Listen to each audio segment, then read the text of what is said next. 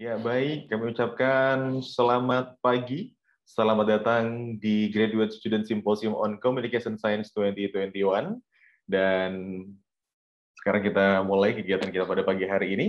Assalamualaikum warahmatullahi wabarakatuh. Salam sejahtera untuk kita semua. Om Swastiastu, Namo Buddhaya, salam kebajikan. Kami ucapkan selamat datang, selamat pagi kepada seluruh hadirin, Bapak, Ibu, tamu undangan, yang terhormat Dekan Fakultas Ilmu Sosial dan Ilmu Politik Universitas Gajah Mada, Dr. Wawan Masudi SIP MPA, yang kami hormati Ketua Departemen Ilmu Komunikasi, Dr. Rajim SIP MSI, yang kami hormati Ketua Program Doktoral Profesor Y. Nunung Prayarto MA PhD, yang kami hormati Ketua Program Magister Dr. Rahayu SIP MSI, yang kami hormati Ketua Program Sarjana Nyarwi Ahmad PhD, yang kami hormati segenap jajaran Kaprodi, dosen Departemen Ilmu Komunikasi Universitas Gajah Mada dan seluruh Indonesia, dan yang kami hormati seluruh hadirin tamu undangan dan peserta GSSC 2021. Graduate Student Symposium on Communication Science 2021 yang diselenggarakan oleh Magister Ilmu Komunikasi Universitas Gajah Mada. Senang sekali uh, saya Hari Arifki Pratama selaku Master of Ceremony pada kegiatan diskusi paralel pada hari ini dapat menyapa hadirin semua. Apa kabar? Semoga dalam keadaan sehat dan bahagia dan tentunya semoga semangat ya Bapak Ibu sekalian. Baik, setelah hari Kamis kemarin kita mengikuti seminar yang menghadirkan berbagai pembicara yang luar biasa. Maka pada hari ini kita sudah memasuki hari kedua sesi diskusi paralel di mana akan ada lima ruang diskusi dari subtopik yang berisikan para presenter yang telah mengirimkan paper dan nantinya akan dipandu oleh moderator di setiap ruangnya. Bapak, Ibu, dan peserta sekalian, kegiatan kita pada pagi hari ini dapat terselenggara atas kerjasama dan dukungan dari berbagai pihak. Tentunya kami ucapkan terima kasih kepada Asosiasi Pendidikan Tinggi Ilmu Komunikasi atau ASPIKOM, Jaringan Pegiat Literasi Digital atau JAPELIDI, dan kami ucapkan terima kasih kepada jurnal partner, antara lain ada Jurnal Media dan Komunikasi Indonesia dari Departemen Ilmu Komunikasi Visipol UGM, Jurnal Komunikasi Indonesia Universitas Indonesia, Jurnal Ilmu Komunikasi dari Universitas Islam Indonesia, Jurnal Interaksi dari Universitas Diponegoro. Dan kami ucapkan terima kasih kepada seluruh media partner kita, Radio Istakalisa, Suara Gama FM, Jogja Family Radio, dan kagama.co. Baik, sebelum kita memulai sesi diskusi paralel kita pada hari ini, akan kami bacakan terlebih dahulu untuk peraturan. Yang pertama, sesi paralel akan dipimpin oleh moderator. Selanjutnya, peserta wajib masuk ke room meeting sesuai jadwal 15 menit sebelum sesi paralel dimulai. Yang ketiga, setiap presenter diberi waktu 7 menit untuk melakukan presentasi. Berikutnya, presenter berjumlah satu dan merupakan perwakilan dari penulis karya. Presentasi dapat menggunakan bahasa Indonesia dan bahasa Inggris. Materi presentasi terdiri kurang lebih 10 hingga 15 slide atau dapat menyesuaikan waktu presentasi. Presenter diharapkan menyiapkan materi presentasi, Sesi tanya jawab dilakukan setelah semua presenter melaksanakan presentasi. Sesi tanya jawab akan dilaksanakan selama 15 menit. Penanya dapat menggunakan fitur raise hand dan diperbolehkan mengaktifkan mikrofon setelah diizinkan oleh moderator atau menyampaikan pertanyaan melalui kolom chat room dengan format nama lengkap, underscore instansi, underscore pertanyaan dan kami informasikan kepada seluruh presenter dimohon untuk mengubah format nama menjadi kode ruang underscore nama underscore nama instansi. Seperti contoh 02 underscore Ainun underscore UGM. Kami juga mengingatkan kepada Bapak Ibu hadirin sekalian bahwa pada sore ini setelah kegiatan call for paper akan ada kegiatan awarding paper terbaik dan closing ceremony agenda GSSC 2021. Jadi kami mohon kepada Bapak Ibu, para presenter, para hadirin tamu undangan sore hari nanti bisa hadir. Baik, hadirin yang kami hormati pada sesi diskusi paralel pagi hari ini, yang pertama kita akan terdiri dari dua subtopik, yakni komunikasi politik dan komunikasi strategis. Dalam diskusi paralel komunikasi politik akan dipandu oleh Wisnu Prasetya Utomo SIP MA sebagai moderator. Kami sapa terlebih dahulu kepada Mas Wisnu. Selamat pagi Mas Wisnu, sudah bergabung dengan kita di pagi hari ini. Ya, selamat pagi Mas Arya. Selamat pagi eh, eh, teman-teman uh, uh, peserta simposium. Siap, Mas Wisnu. Mohon izin untuk membacakan CV-nya Mas Wisnu ya. Siap, siap. Jadi uh, akrab disapa dengan Mas Wisnu, merupakan dosen di Departemen Ilmu Komunikasi Universitas Gajah Mada. Beliau menyelesaikan pendidikan S1 di jurusan Ilmu Komunikasi Universitas Gajah Mada dan S2 di School of Media and Communication University of Leeds, Inggris. Menulis buku Suara Pers Suara Siapa pada tahun 2016 dan Pers Mahasiswa Melawan Komersialisasi Pendidikan di tahun 2013 yang diangkat dari skripsinya. Luar biasa keren banget nih ya. Dan Mas Wisnu juga menerjemahkan buku Kuasa Media di Indonesia, Kaum Oligarki, Warga dan Revolusi Digital di tahun 2018, dan Identitas, Tuntutan Atas Martabat dan Politik Kebencian di tahun 2020, serta menyunting buku Orde Media, Kajian Televisi dan Media di Indonesia Pasca Orde Baru di tahun 2015. Dan selain menulis buku, dan mengajar, ternyata kesibukan Mas Wisnu juga mengelola media yang sekarang lagi populer, yakni media podcast, ya Mas Wisnu ya. Di mana podcastnya Mas Wisnu ini membahas seputar isu media dan jurnalisme. Jadi nggak jauh-jauh dari darahnya Mas Wisnu juga nih ya, media dan jurnalisme. Dan minat kajiannya Mas Wisnu ini adalah jurnalisme, literasi digital, dan komunikasi politik. Dan tentunya untuk para peserta nanti yang berada di subtopik komunikasi politik nanti akan dipandu oleh Mas Wisnu Prasetya Utomo. Terima kasih Mas Wisnu sudah hadir pada pagi hari ini dan berikutnya untuk diskusi paralel komunikasi strategis akan dipandu oleh Syaifah Tania SIP MA kita sapa terlebih dahulu. Selamat pagi, Mbak Halo. Tania. Selamat pagi, Mas Rifki, dan selamat pagi semuanya. Luar biasa, cerah sekali dan tampak semangat ya Mbak Tania hari ini. Tentu, harus bersemangat. Untuk GSS-nya 2021 pasti bersemangat dong. Iya, nanti bakal memimpin dan memoderatori untuk uh, diskusi paralel komunikasi strategis. Baik, okay. akan kita bacakan terlebih dahulu uh, kurikulum vitae dari Mbak Tania. Jadi uh, Syaifah Tania SIPMA akrab disapa dengan Mbak Tania, merupakan dosen di Departemen Ilmu Komunikasi UGM. Pendidikan terakhir yang ditempuhnya adalah Magister Ilmu Komunikasi di Visipol Universitas Gajah Mada dan bidang keahliannya mencakup periklanan, kehumasan, media digital, dan Mbak Tania dapat dihubungi lebih lanjut melalui surel syaifa.tania@ugm.ac.id. Dan ini ada riwayat penelitian beliau dari tahun 2018 hingga 2020 bahkan luar biasa sudah terbit di berbagai jurnal ya dan ini juga ada riwayat pengabdian kepada masyarakat. Luar biasa. Terima kasih Mbak Syaifah Tania sudah hadir. Selamat Terima kasih bertugas dan semangat.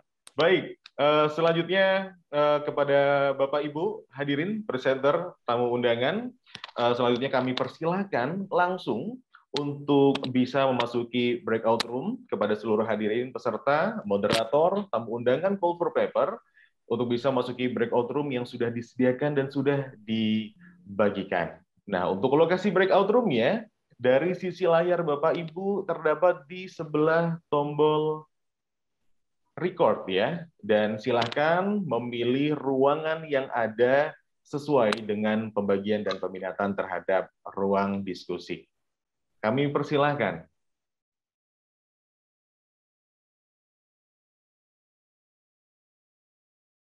Oke, ya. Uh, selamat pagi uh, teman-teman peserta simposium GSCC uh, 2021. Uh, semoga saya suara saya bisa kedengaran uh, lebih jelas ya teman-teman ya. Uh, sebentar. Oke, sambil kita menunggu peserta yang lain, saya nggak tahu apakah semua sudah hadir di sini. Semoga sudah ya, karena alokasi waktu kita untuk uh, sesi paralel pertama ini terbatas begitu. Jadi mungkin saya nggak akan uh, terlalu lama. Saya hanya ingin meng-highlight beberapa hal yang tadi sudah disampaikan oleh pembawa acara begitu. Uh, yang pertama dan yang, yang paling utama saya kira nanti teman-teman presenter diberi waktu hanya tujuh menit untuk presentasi begitu. Jadi saya berharap teman-teman bisa lebih efektif untuk menyampaikan uh, materi paparannya begitu jadi nanti waktu tidak uh, terbuang lama begitu. Kemudian yang kedua uh, sesi tanya jawab akan kita lakukan di akhir acara setelah uh, semua presenter melakukan presentasi dan uh, alokasi waktu untuk uh, sesi tanya jawab ada sekitar 15 sampai uh, 20 menit gitu. Nah, jadi karena alokasi waktu untuk tanya jawab juga terbatas, kalau teman-teman peserta yang menyimak Eh, sesi kali ini ada pertanyaan, eh, silahkan langsung nanti bisa diajukan lebih dulu di kolom chat yang nanti akan eh, direspon oleh presenter di, di akhir setelah semua presenter apa menyampaikan presentasinya begitu ya lewat chatbox dengan menyebutkan nama kemudian instansi dan pertanyaannya ditujukan kepada siapa.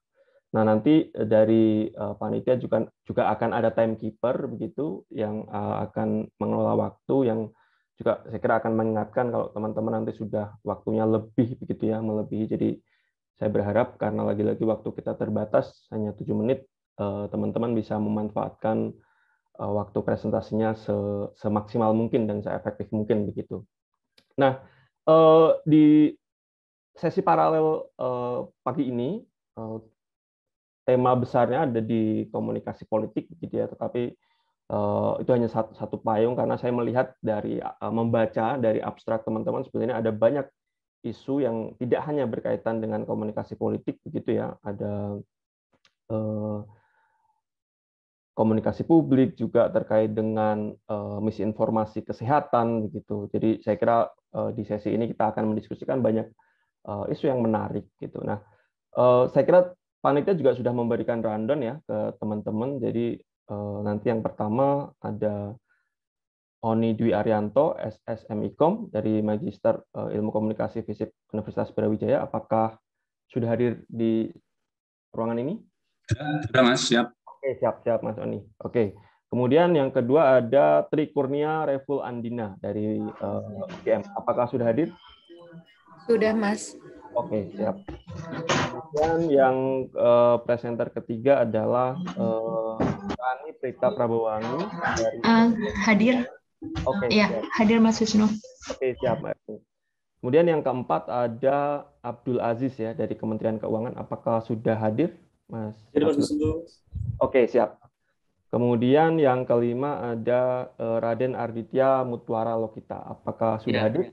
Sudah hadir Mas Wisnu. Oke, mantap. Sudah hadir semua ya. Berarti teman-teman, oke. Saya kira begitu ya, eh, teman-teman, aturan eh, sesi kita hari ini. Saya eh, berharap kita bisa efektif dan bisa mendapatkan bertukar pikiran begitu untuk mendiskusikan banyak hal terkait penelitian atau paper yang teman-teman tulis hari ini ya, yang isunya luas dari tadi dari komunikasi politik sampai juga ada yang menarik tentang eh, apa perempuan dalam gerakan terorisme di Indonesia saya kira.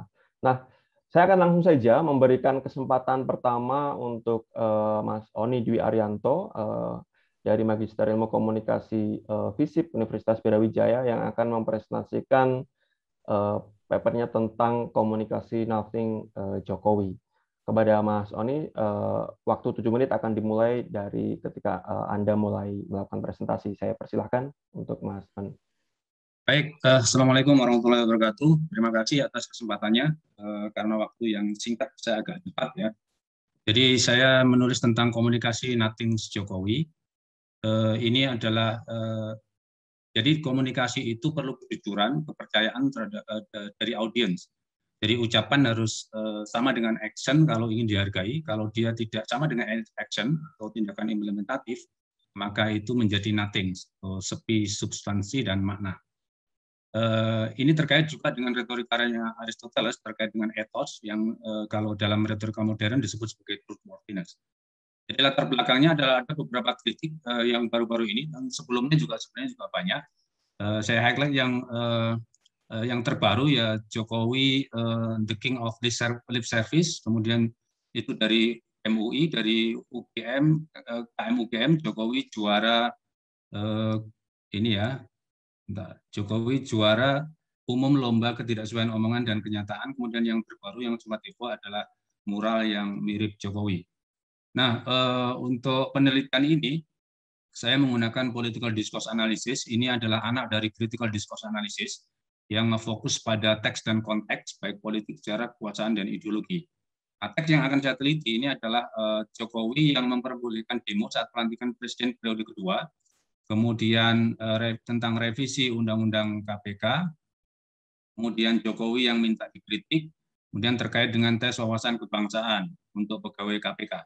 Nah, semua komunikasi nating di sini akan terkait dengan fakta pasca teks dan konteksnya.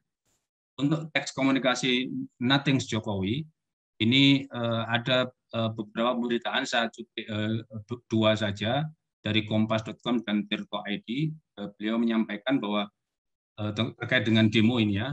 Eh, lo namanya demo dijamin konstitusi. Ya namanya demo dijamin konstitusi. Kalau terkait dengan larangan ya tanya ke Kapolri. Itu adalah teks yang muncul dari eh, Jokowi. Ini kemudian ada teks yang tidak setuju RUU KPK yang melemahkan. Saya tidak setuju terhadap beberapa substansi RUU inisiatif DPR ini yang berpotensi mengurangi keefektifan tugas KPK, misalnya harus izin pengadilan, eh, kemudian eh, penyidik KPK harus eh, berasal dari unsur aparatur sipil negara. Kemudian pertimbangan menerbitkan perpu terkait RUU KPK. Jadi ini masih terkait dengan dinamika RUU KPK. Jadi sempat ada demo besar, gitu. kemudian Jokowi mengundang beberapa pakar, beberapa tokoh gitu ya, dan kemudian ada teks yang muncul berkaitan dengan Undang-Undang KPK yang sudah disahkan oleh DPR, banyak sekali masukan yang diberikan kepada kita. Utamanya masukan itu berupa perpu. Tentu saja ini kami hitung, kalkulasi, dan nanti setelah itu akan kami putuskan eh, dan seterusnya. Kemudian eh, Jokowi minta dikritik. Masyarakat harus lebih aktif menyampaikan kritik.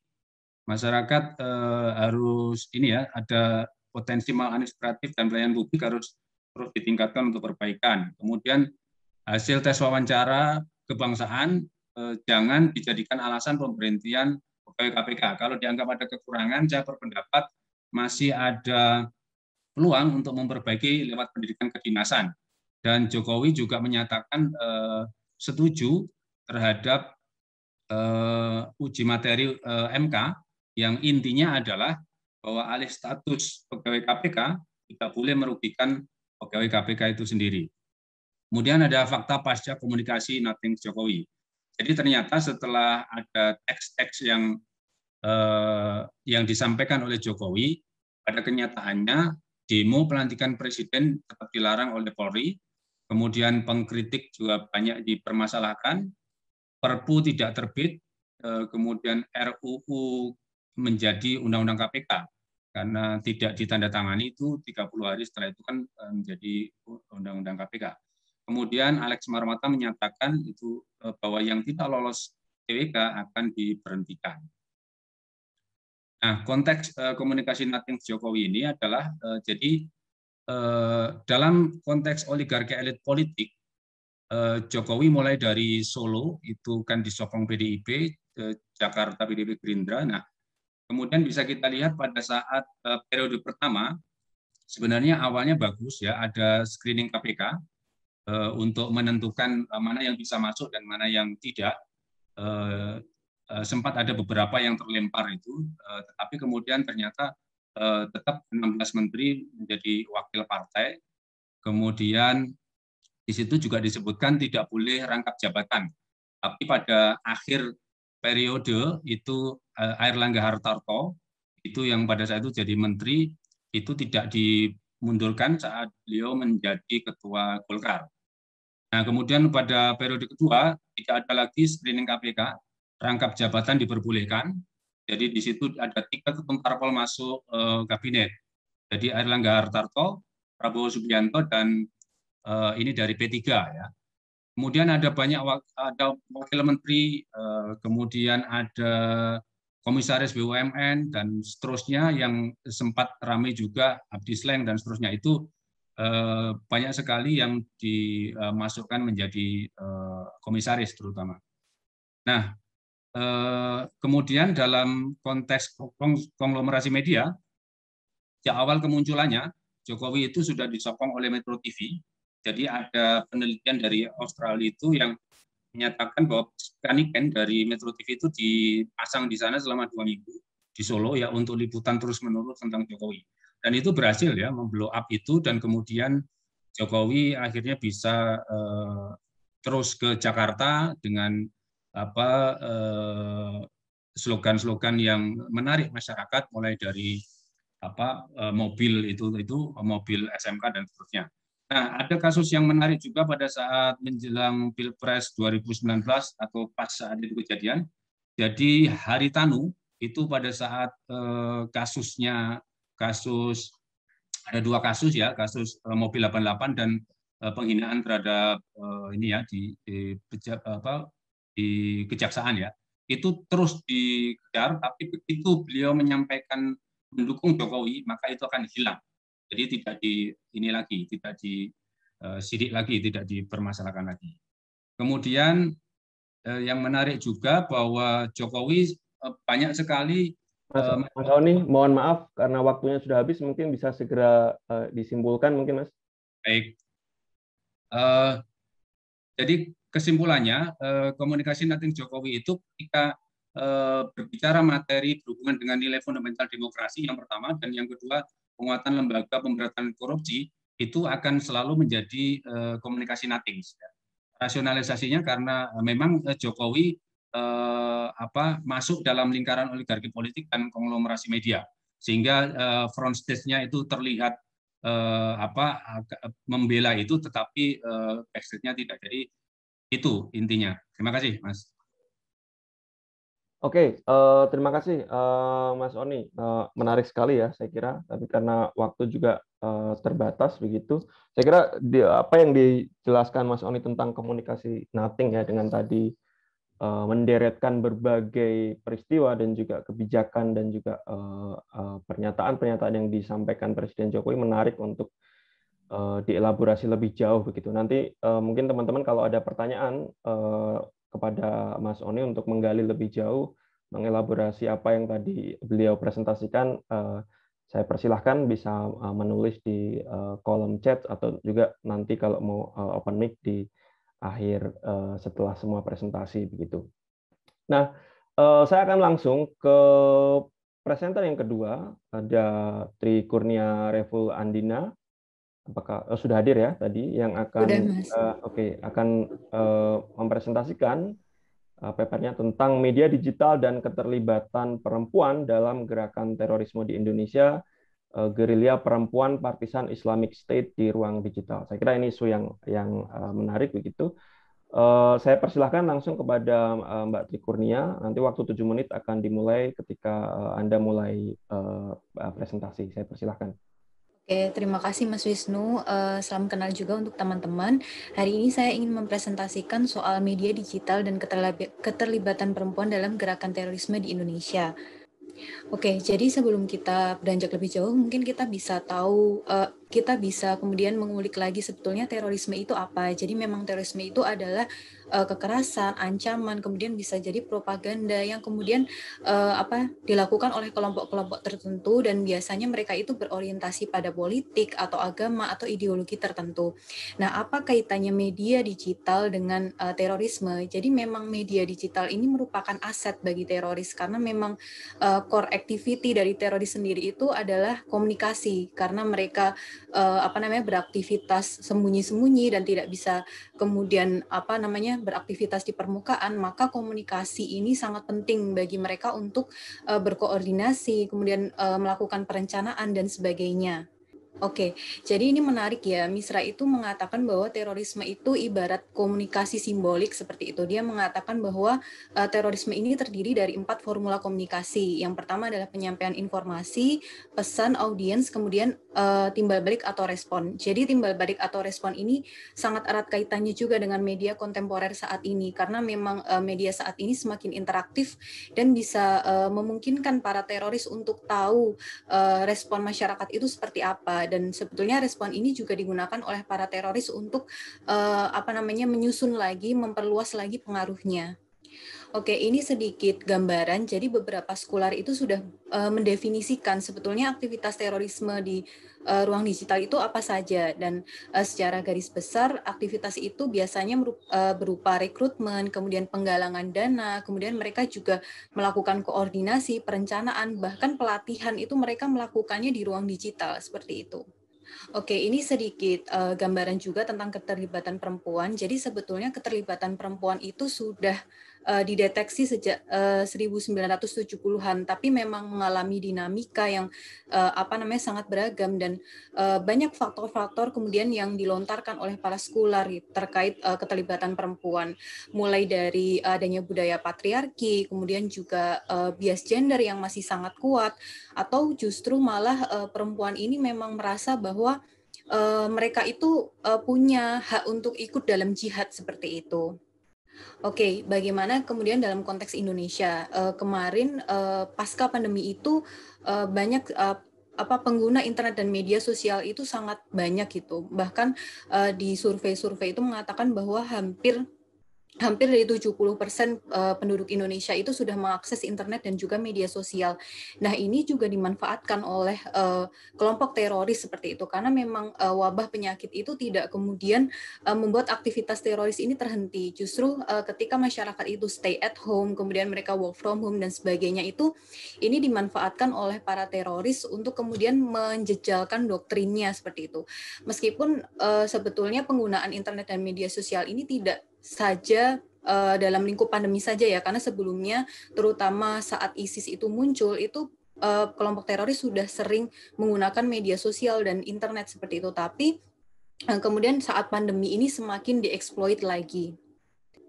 Nah, ternyata tek, perkembangan teknologi yang semakin canggih itu juga menjadi stimulus partisipasi perempuan di dalam gerakan terorisme. Jadi mungkin punya gambaran ya bahwa apa namanya terorisme itu syarat dengan violence dan sebagainya. Tapi dengan adanya media ini, uh, teroris itu berubah menjadi non violence activity seperti itu dan perempuan itu menjadi lebih apa ya, lebih dalam tanda kutip lebih mudah untuk berpartisipasi dalam uh, gerakan terorisme. Nah, uh, kenapa saya ambil uh, Islamic State atau ISIS itu sebagai uh, objek karena memang uh, Islamic State itu merupakan organisasi radikal modern ya yang kemudian saat kemunculannya itu dia sudah uh, sangat aktif di, di media digital seperti itu bahkan dan di, di dan di lain sisi mereka itu juga uh, apa namanya me, uh, ini memperbolehkan perempuan untuk ikut dalam gerakan teroris seperti itu. Oke, jadi ini hasilnya. Jadi uh, sebetulnya uh, kalau mau dirunut, uh, perempuan Indonesia itu sudah terlibat dalam uh, aktivitas teroris itu sudah dari lama seperti itu. Tapi dengan adanya media digital, uh, penggunaan ini semakin uh, masif lagi seperti itu. Nah, uh, apa namanya? Uh, biasanya ada sisterhood ya di dalamnya itu. Jadi uh, apa namanya uh, perempuan merekrut perempuan karena merasa ada bonding, merasa senasib dan seperjuangan. Lalu mereka uh, apa namanya merekrut di media digital, kemudian mereka juga uh, apa namanya uh, saling melatih, merekrut, uh, menggalang dana dan sebagainya. Lalu nanti perempuan itu juga merekrut perempuan lain lagi seperti itu. Dan memang media digital yang banyak digunakan adalah WhatsApp, Telegram, Facebook, Twitter, dan Tumblr. Dan Tumblr. Kemudian aktivitasnya itu ada propaganda, rekrutmen, kemudian menggalang dana, berjejaring, dan memimpin forum-forum. Bahkan perempuan itu memimpin forum yang anggotanya itu juga banyak laki-laki. Oke, ini ada beberapa anggapan keterlibatan perempuan di media digital. Jadi ada yang menganggap bahwa perempuan itu merupakan korban struktural, permasalahan struktural. Artinya apa? Ada eh, apa uh, literasi yang kemudian rendah sehingga mengakibatkan perempuan itu uh, terjerumus dalam pemahaman bias gender seperti itu sehingga mereka tidak punya pilihan lain selain menjadi teroris. Kemudian juga ada anggapan bahwa uh, mereka itu memang memiliki keinginan sendiri gitu karena media digital itu dianggap uh, tidak hierarkis seperti itu. Jadi semua tuh bisa bisa mengakses bisa menggunakan. Pun sebetulnya laki-laki uh, di dalam kelompok ISIS itu juga melihat potensi yang luar biasa di apa namanya dalam perempuan. Dalam mereka itu uh, mengkoordinir kegiatan di media digital itu perempuan punya kemampuan yang sangat hebat seperti itu. Sehingga uh, mereka itu diperbolehkan uh, ke, apa me, melakukan kegiatan-kegiatan melalui media digital seperti Mbak itu. mohon maaf waktunya habis, mungkin bisa iya. disimpulkan. Iya, kesimpulannya adalah memang uh, apa namanya uh, harus menjadi perhatian ya bagi pemerintah khususnya bahwa uh, apa namanya uh, kegiatan terorisme itu tidak hanya kemudian dilakukan oleh laki-laki, tapi juga perempuan itu sangat berpotensi untuk uh, terlibat dalam kegiatan teroris. Terlebih saat ini media digital itu semakin masif digunakan, jadi kemungkinan pergerakannya di dalam ruang digital itu juga semakin uh, apa namanya semakin gencar seperti itu. Dan dalam konteks pandemi sendiri ini juga belum ada studi yang kemudian secara khusus me mengcapture tentang uh, bagaimana perempuan saat pandemi ini gitu dalam gerakan teroris. Dan menurut saya ini menjadi uh, gap yang kemudian bisa dikaji lebih jauh di masa mendatang. Seperti itu Mas. Terima kasih. Oke baik. Terima kasih Mbak Tri Kurnia. Saya kira uh, menarik dan betul sekali tadi memang dalam konteks uh, pandemi apalagi ya perlu um, dengan aktivitas yang saya kira uh, beberapa riset menyebut 50 uh, sampai 60 persen aktivitas manusia semua pindah ke online dan apalagi kalau kita bicara dalam konteks isu terorisme tentu menarik untuk dilihat lebih jauh gitu. Terima kasih sekali lagi Mbak Tri Kurnia. Teman-teman kalau lagi-lagi kalau ada pertanyaan untuk Mbak Tri atau juga tadi untuk Mas Oni di Presenter pertama silahkan diajukan di kolom chat dengan uh, menyampaikan nama, uh, institusi dan juga ditujukan untuk kepada siapa begitu. Nah, saya akan langsung masuk ke uh, presentasi ketiga dari Mbak Rani Prita Prabawangi ya dari Universitas Negeri Malang yang akan menyampaikan tentang ketika fakta bukanlah sebuah kebenaran, peran media online dalam amplifikasi misinformasi kesehatan di era pandemi COVID-19. Kepada eh, Mbak Rani Prita Prabawangi, eh, saya persilahkan. Ya, terima kasih teman-teman panitia dan moderator. Uh, saya akan mempersingkat presentasi saya, terutama di bagian latar belakang, karena kita semua sudah banyak tahu bahwa sekarang Indonesia menghadapi pandemi COVID-19 dan baik Indonesia maupun dunia itu bukan hanya melawan virus tapi juga melawan yang namanya infodemik uh, banyaknya misinformasi hoax uh, tentang COVID-19 itu sendiri. Nah, di Indonesia sendiri ada 1016 hoax uh, sampai dengan Agustus 2020 tersebar di berbagai platform uh, sampai 1912 platform.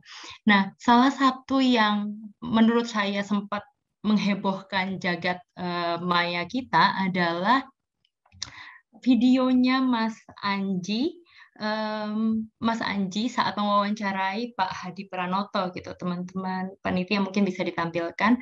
Jadi saat itu Mas Anji mewawancarai dilabeli Profesor Hadi Pranoto, pakar mikrobiologi, uh, orang yang mengaku sudah menemukan obat COVID-19 gitu. Judulnya bisa kembali normal, obat COVID-19 sudah ditemukan. Kala itu videonya langsung di take down oleh YouTube tidak lama setelah diupload, kemudian Anji mendapatkan reaksi yang sangat uh, apa ya heboh begitu dari berbagai elemen, mulai dari uh, DPR, anggota dewan, kemudian para uh, akademisi sampai um, apa namanya rekan artis lah bisa dikatakan begitu. Bahkan liputan 6 sempat membuat spesial konten berkaca pada kasus Anji, perlukah kita membuat kode etik untuk influencer gitu. Nah, um, semua mengarahkan matanya pada influencer, sosial media sebagai platform yang masif menyebarkan misinformasi. Padahal ada yang luput dan terungkap ketika Anji mengatakan kenapa dia mengundang Hadi Pranoto karena dia sudah melihat ada beberapa artikel yang meliput uh, jumpa persnya Pak Hadi Pranoto. jadi Anji sebetulnya tidak asal undang gitu. Dia sudah melihat Pak eh, Hadi Pranoto menjadi narasumber um, diliput begitu ya temuannya bahwa dia menemukan obat uh, anti corona. Jadi kebohongan Hadi Pranoto sudah diberitakan oleh media terlebih dahulu.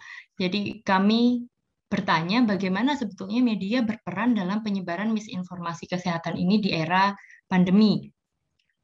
Metodenya sederhana, kami mencari secara manual melalui Google Search Engine. Ada 70 artikel sepanjang April-September.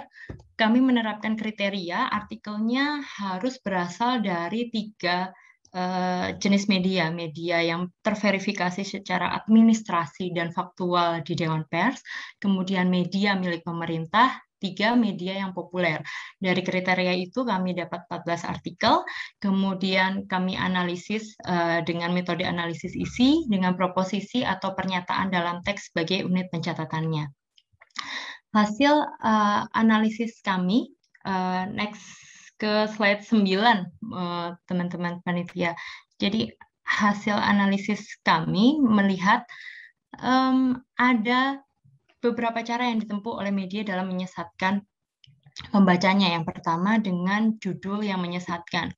Uh, ada ke, nah itu tadi sepintas medianya. Nah ini, jadi contohnya seperti yang ada di antara news.com ini adalah penggunaan misinformasi.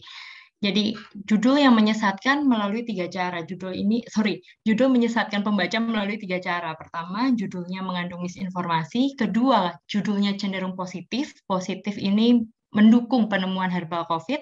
Ketiga, eh, cenderung netral, ya ini tidak berada posisi mendukung ataupun kontra, tidak berani mengatakan bahwa itu adalah kebohongan begitu ya. Eh, biasanya judul yang cenderungnya netral ini menggunakan kata-kata seperti klaim atau mengajak pembaca untuk menelisik ya menelisik obat anti corona virus bla bla bla. Nah, dua judul ini sebenarnya sama-sama membahayakan jelas ya. Uh, untuk yang positif ataupun yang mengandung misinformasi ini tentunya jelas seperti yang dilakukan oleh antara obat herbal anti corona disalurkan ke Wisma Atlet padahal tidak ada obat itu disalurkan atau digunakan oleh Wisma Atlet. Nah, sementara menggunakan kata claim ini kalau saya boleh menyitir Weiner, claim di sini berfungsi seperti halnya innuendo.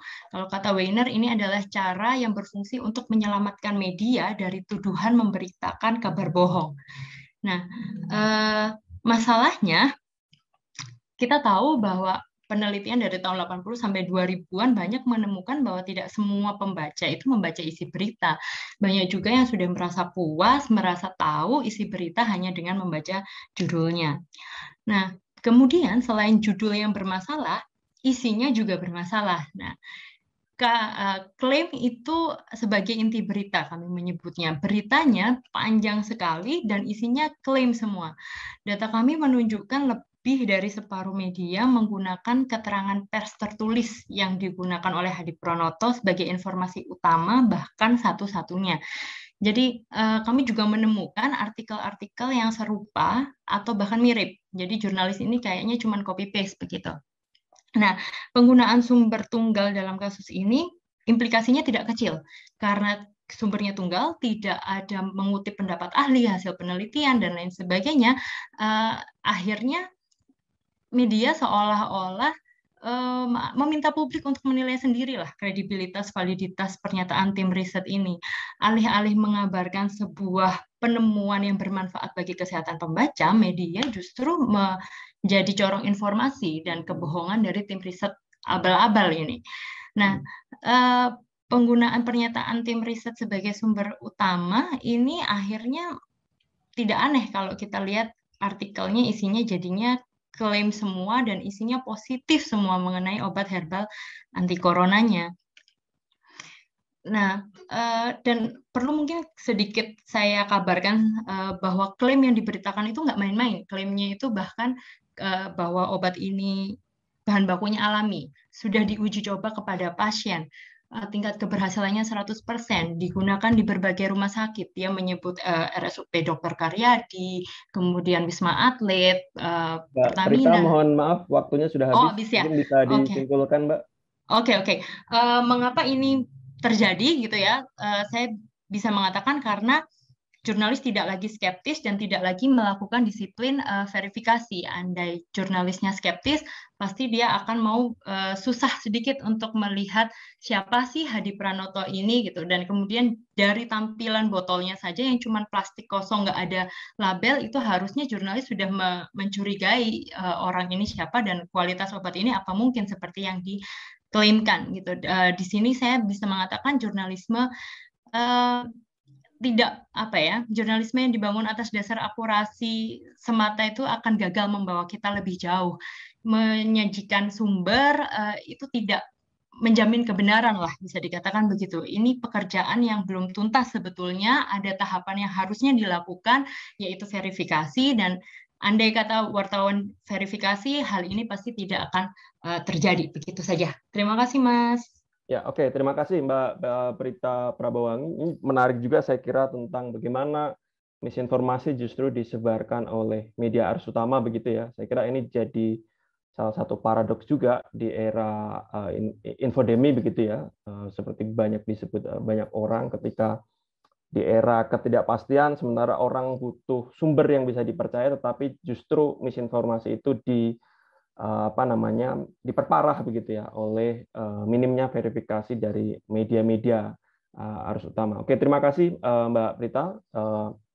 Lagi-lagi saya ingatkan teman-teman kalau ada pertanyaan, tadi saya lihat di kolom chat sudah ada beberapa pertanyaan, silahkan diajukan terlebih dulu di kolom chat, nanti akan kita diskusikan setelah semua presenter mempresentasikan materinya.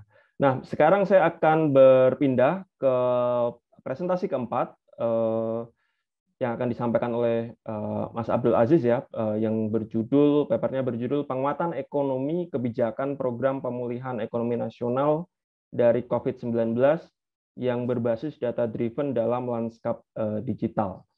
Saya ya. persilahkan kepada Mas Abdul Aziz. Ya, terima kasih. mungkin saya agak singkat-singkat saja ya, karena ini cukup panjang dan uh, terbatas waktu, nanti bisa di sesi diskusi.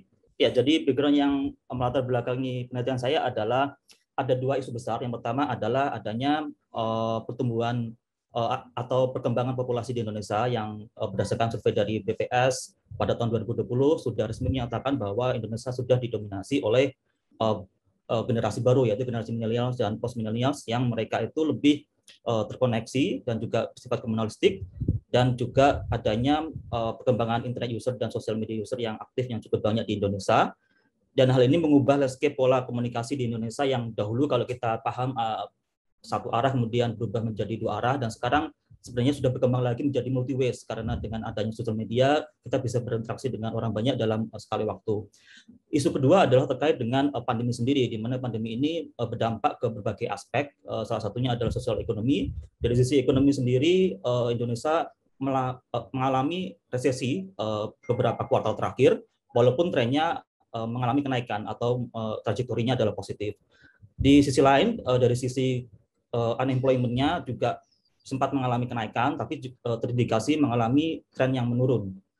Dari survei Edelman Trust Barometer tahun 2021, uh, mereka menyatakan bahwa ada gap kepercayaan antara populasi yang well informed terhadap kebijakan publik dengan uh, yang belum terinform secara baik.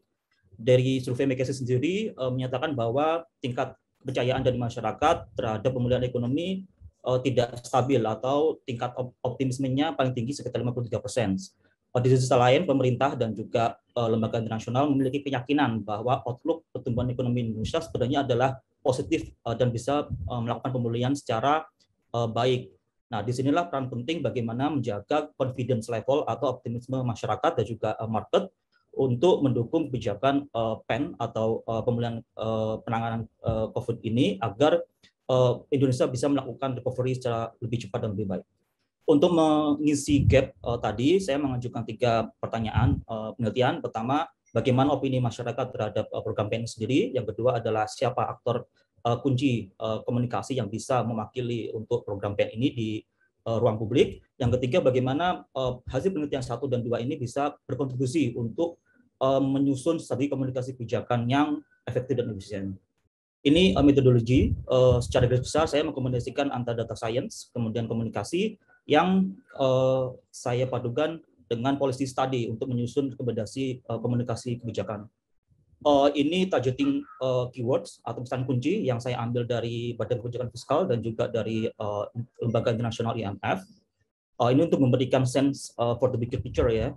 Jadi saya membuat uh, untuk konten dan analisis saya mem membuat dua korpus. Pertama korpus uh, yang saya buat dari uh, keyword tadi, yang kedua adalah korpus yang saya ambil uh, dari dataset yang saya peroleh. Kemudian saya bandingkan bagaimana untuk memperoleh opini publik uh, yang ingin disampaikan oleh pemerintah dengan yang ingin diterima oleh masyarakat. Uh, saya membuat data uh, modeling dengan mengambil pesan kunci dan mengkorelasikan dengan kebijakan-kebijakan pemerintah. Ini beberapa uh, hasilnya. Oh, ini ringkasannya, finding dan insight untuk konten uh, and text analysis. Yang pertama adalah pesan kunci yang diharapkan uh, disampaikan di ruang publik oleh pemerintah. Ini cukup uh, sudah cukup efektif disampaikan. Namun demikian ada beberapa pesan kunci yang diharapkan oleh uh, masyarakat tapi belum teroptimalkan. Uh, kemudian dari uh, topik modeling diperoleh uh, hasil bahwa terdapat kolaborasi yang cukup efektif, efektif dari beberapa uh, pelaku uh, pembuat kebijakan. Salah satunya adalah antara Kementerian Keuangan dengan pariwisata, kemudian keuangan dengan uh, Kementerian Desa, dan juga Kementerian Keuangan dengan uh, Kemendikbud terkait dengan data uh, subsidi internet. Uh, kemudian ada juga uh, temuan bahwa jumlah pesan kunci itu tinggi uh, sekitar 4 sampai 6 persen dibandingkan dengan total uh, word clouds yang diperoleh. Uh, semakin tinggi nilai ini semakin baik menunjukkan bahwa semakin baik uh, tingkat efektivitas uh, penyampaiannya. Ini agar bisa mendapatkan sense untuk social network analysis bisa dilanjut sekelas-sekelas saja. Lanjut. Lanjut. Lanjut. Ini hasil dengan batas ambang threshold 5%, saya memperoleh beberapa aktor kunci, bisa dilihat di sini. Ini ringkasan finding dan insight dari social network analysis. Yang pertama, beberapa aktor yang tadi di tabel tadi sudah ditujukan terindikasi aktif dalam mendiseminasikan uh, program PEN dengan nilai in degree dan out degree yang cukup tinggi. Kemudian ada juga aktor-aktor kunci yang diharapkan bisa berpartisipasi lebih, namun mereka belum menunjukkan tingkat yang bagus ya atau melebihi dari threshold. Satunya adalah Kominfo sebagai leading dari komunikasi publik, kemudian ada satgas seperti Kadin dan juga ada peran dari KSSK yang kurang optimal yaitu BI, OJK dan EPS. Kemudian ada peran dari media tapi nilainya masih kecil. Juga ada peran uh, buzzer dan paid influencers tapi mereka dikeluarkan dari penelitian ini. Kemudian ada juga peran dari uh, akademisi. Uh, ini uh, hasil dari finding tadi dan insight tadi uh, saya formulasikan untuk menyusun uh, strategi komunikasi kebijakan publik. Untuk jangka pendek, uh, saya, saya rekomendasikan agar adanya adanya kolaborasi dan sinergi bersama antara kementerian lembaga uh, publik lainnya diinisiasi atau dikemendui oleh KSK dan juga Kementerian uh, Kominfo dan juga uh, kerjasama yang lebih banyak dengan media dan jurnalis untuk membuat uh, program PEN ini terekspos gitu ya lebih lebih tinggi. Yang kedua pesan kunci yang banyak dicari oleh warganet tapi belum tersedia bisa menjadi suatu feedback bagi pemerintah atau pembuat kebijakan uh, agar menyusun kebijakan komunikasi publik yang lebih baik. Uh, kemudian ada pesan kunci dari pengambil kebijakan yang ingin disampaikan, tapi belum banyak diperbincangkan oleh masyarakat, uh, khususnya di warganet, uh, bisa menjadi masukan juga bagi pembuat kebijakan untuk meningkatkan frekuensinya. Dalam jangka menengah, perlunya fasilitasi untuk membentuk komunitas, baik secara fisik maupun online, terkait dengan program PEN maupun kebijakan APBN secara umum. Kemudian juga perlunya membuat kerjasama lebih banyak dengan komunitas yang sudah terbangun sebelumnya agar komunikasi dengan grassroots ini lebih dekat gitu ya. Kemudian dalam jangka panjang perlunya pembangunan. Mas uh, Aziz, mohon maaf waktunya habis, bisa langsung ke ya, disimpulkan. Terakhir, ya konklusinya adalah uh, pandemi masih berkembang dan perlunya uh, kebijakan komunikasi publik juga diperlukan adaptasi yang lebih tinggi agar menyesuaikan dengan perkembangan pandemi. Kemudian uh, kerangka yang saya bangun di sini bisa diaplikasikan ke dalam platform, platform lain dengan um, menerapkan kerangka kerja yang sama. Data merupakan sumber uh, new oil, tapi perlu penggunaan kode etik dan uh, norma sosial yang yang baik agar untuk transparansi dan akuntabilitas publik. Kemudian uh, pendekatan multidisipliner ini bisa dilakukan untuk uh, sektor lainnya. Salah satunya adalah bagaimana meneliti taxpayer atau wajib pajak uh, behavior dari wajib pajak uh, terhadap kepatuhan pajak, pajaknya. Mungkin itu dari saya. Terima kasih. Oke, terima kasih Mas Abdul Aziz. Saya menangkap tadi beberapa kata kunci yang menarik saya kira untuk eh, nanti bisa kita elaborasi lebih jauh ya. Eh, ketika kita bicara komunikasi publik di era digital, saya kira tadi Mas Abdul Aziz di depan sedikit menggambarkan tentang apa yang beliau sebut sebagai trust gap ya. Ada ada ada jarak antara apa pesan yang diterima dan disampaikan oleh well informed public tadi saya menangkap dan juga populasi secara umum. Karena ini salah satu problem saya kira ya di Indonesia gap digital kita masih masih tinggi gitu. Masih masih terpusat di kota-kota besar dan belum merata. Saya kira nanti kita bisa elaborasi sejauh apa kemudian Eh, digital divide itu berpengaruh terhadap bagaimana eh, komunikasi publik di, di eh, media sosial. Sekali lagi terima kasih Mas Abdul ya. Aziz yang sudah presentasi papernya. Nah, kita langsung ke presentasi kelima. Ada Raden Arditya Mutwara Lokita dari Prodi Magister Ilmu Komunikasi Universitas Atmajaya Yogyakarta. Beliau pagi ini akan mempresentasikan papernya yang berjudul Media Coverage of COVID-19 in Indonesia Online Media. Uh, Saya persilahkan kepada Mas uh, Raden Arditya untuk mempresentasikan uh, papernya. Ya, selamat pagi teman-teman dan panitia. Uh, terima kasih atas kesempatan yang diberikan. Pagi ini saya akan mempresentasikan tentang liputan media uh, online media di Indonesia pada masa pandemi COVID-19. Langsung saja. Ini latar belakangnya sangat umum, jadi saya bahas cepat aja. Uh, Corona virus disease atau COVID-19 yang menyebar di seluruh dunia akhirnya ditetapkan sebagai pandemi oleh WHO di tanggal 11 Maret. COVID-19 menimbulkan permasalahan tidak hanya di bidang kesehatan, tetapi juga ekonomi, politik, sosial, dan juga budaya. Di sisi lain, masyarakat sangat membutuhkan informasi yang objektif, akurat, dan juga kredibel. Salah satu yang bisa menyediakan itu, menurut saya adalah media arus utama, dan utamanya saya fokus ke media online karena formatnya yang 24 jam. Jadi dia bisa mengupdate informasi dengan cepat, karena selain masyarakat butuh informasi yang objektif, akurat dan kredibel, dia juga butuh update informasi dengan cepat. Informasi dalam uji lestari dikatakan bahwa dia memiliki kemampuan atau merupakan pengetahuan untuk uh, menghandling atau mengkontrol penyebaran virus dan juga mengatasi adanya COVID-19 ini. Metodologi yang saya gunakan analisis sisi kuantitatif dengan purposive sampling. Saya dengan cara menarik data dari data digital dengan uh, hashtag tertentu. Kemudian saya perdalam dengan analisis kualitatif untuk mendapatkan gambaran tentang apa yang saya cari di kerangka teori, yaitu tentang objektivitas informasi, agenda setting teori, dan juga komunikasi kesehatan.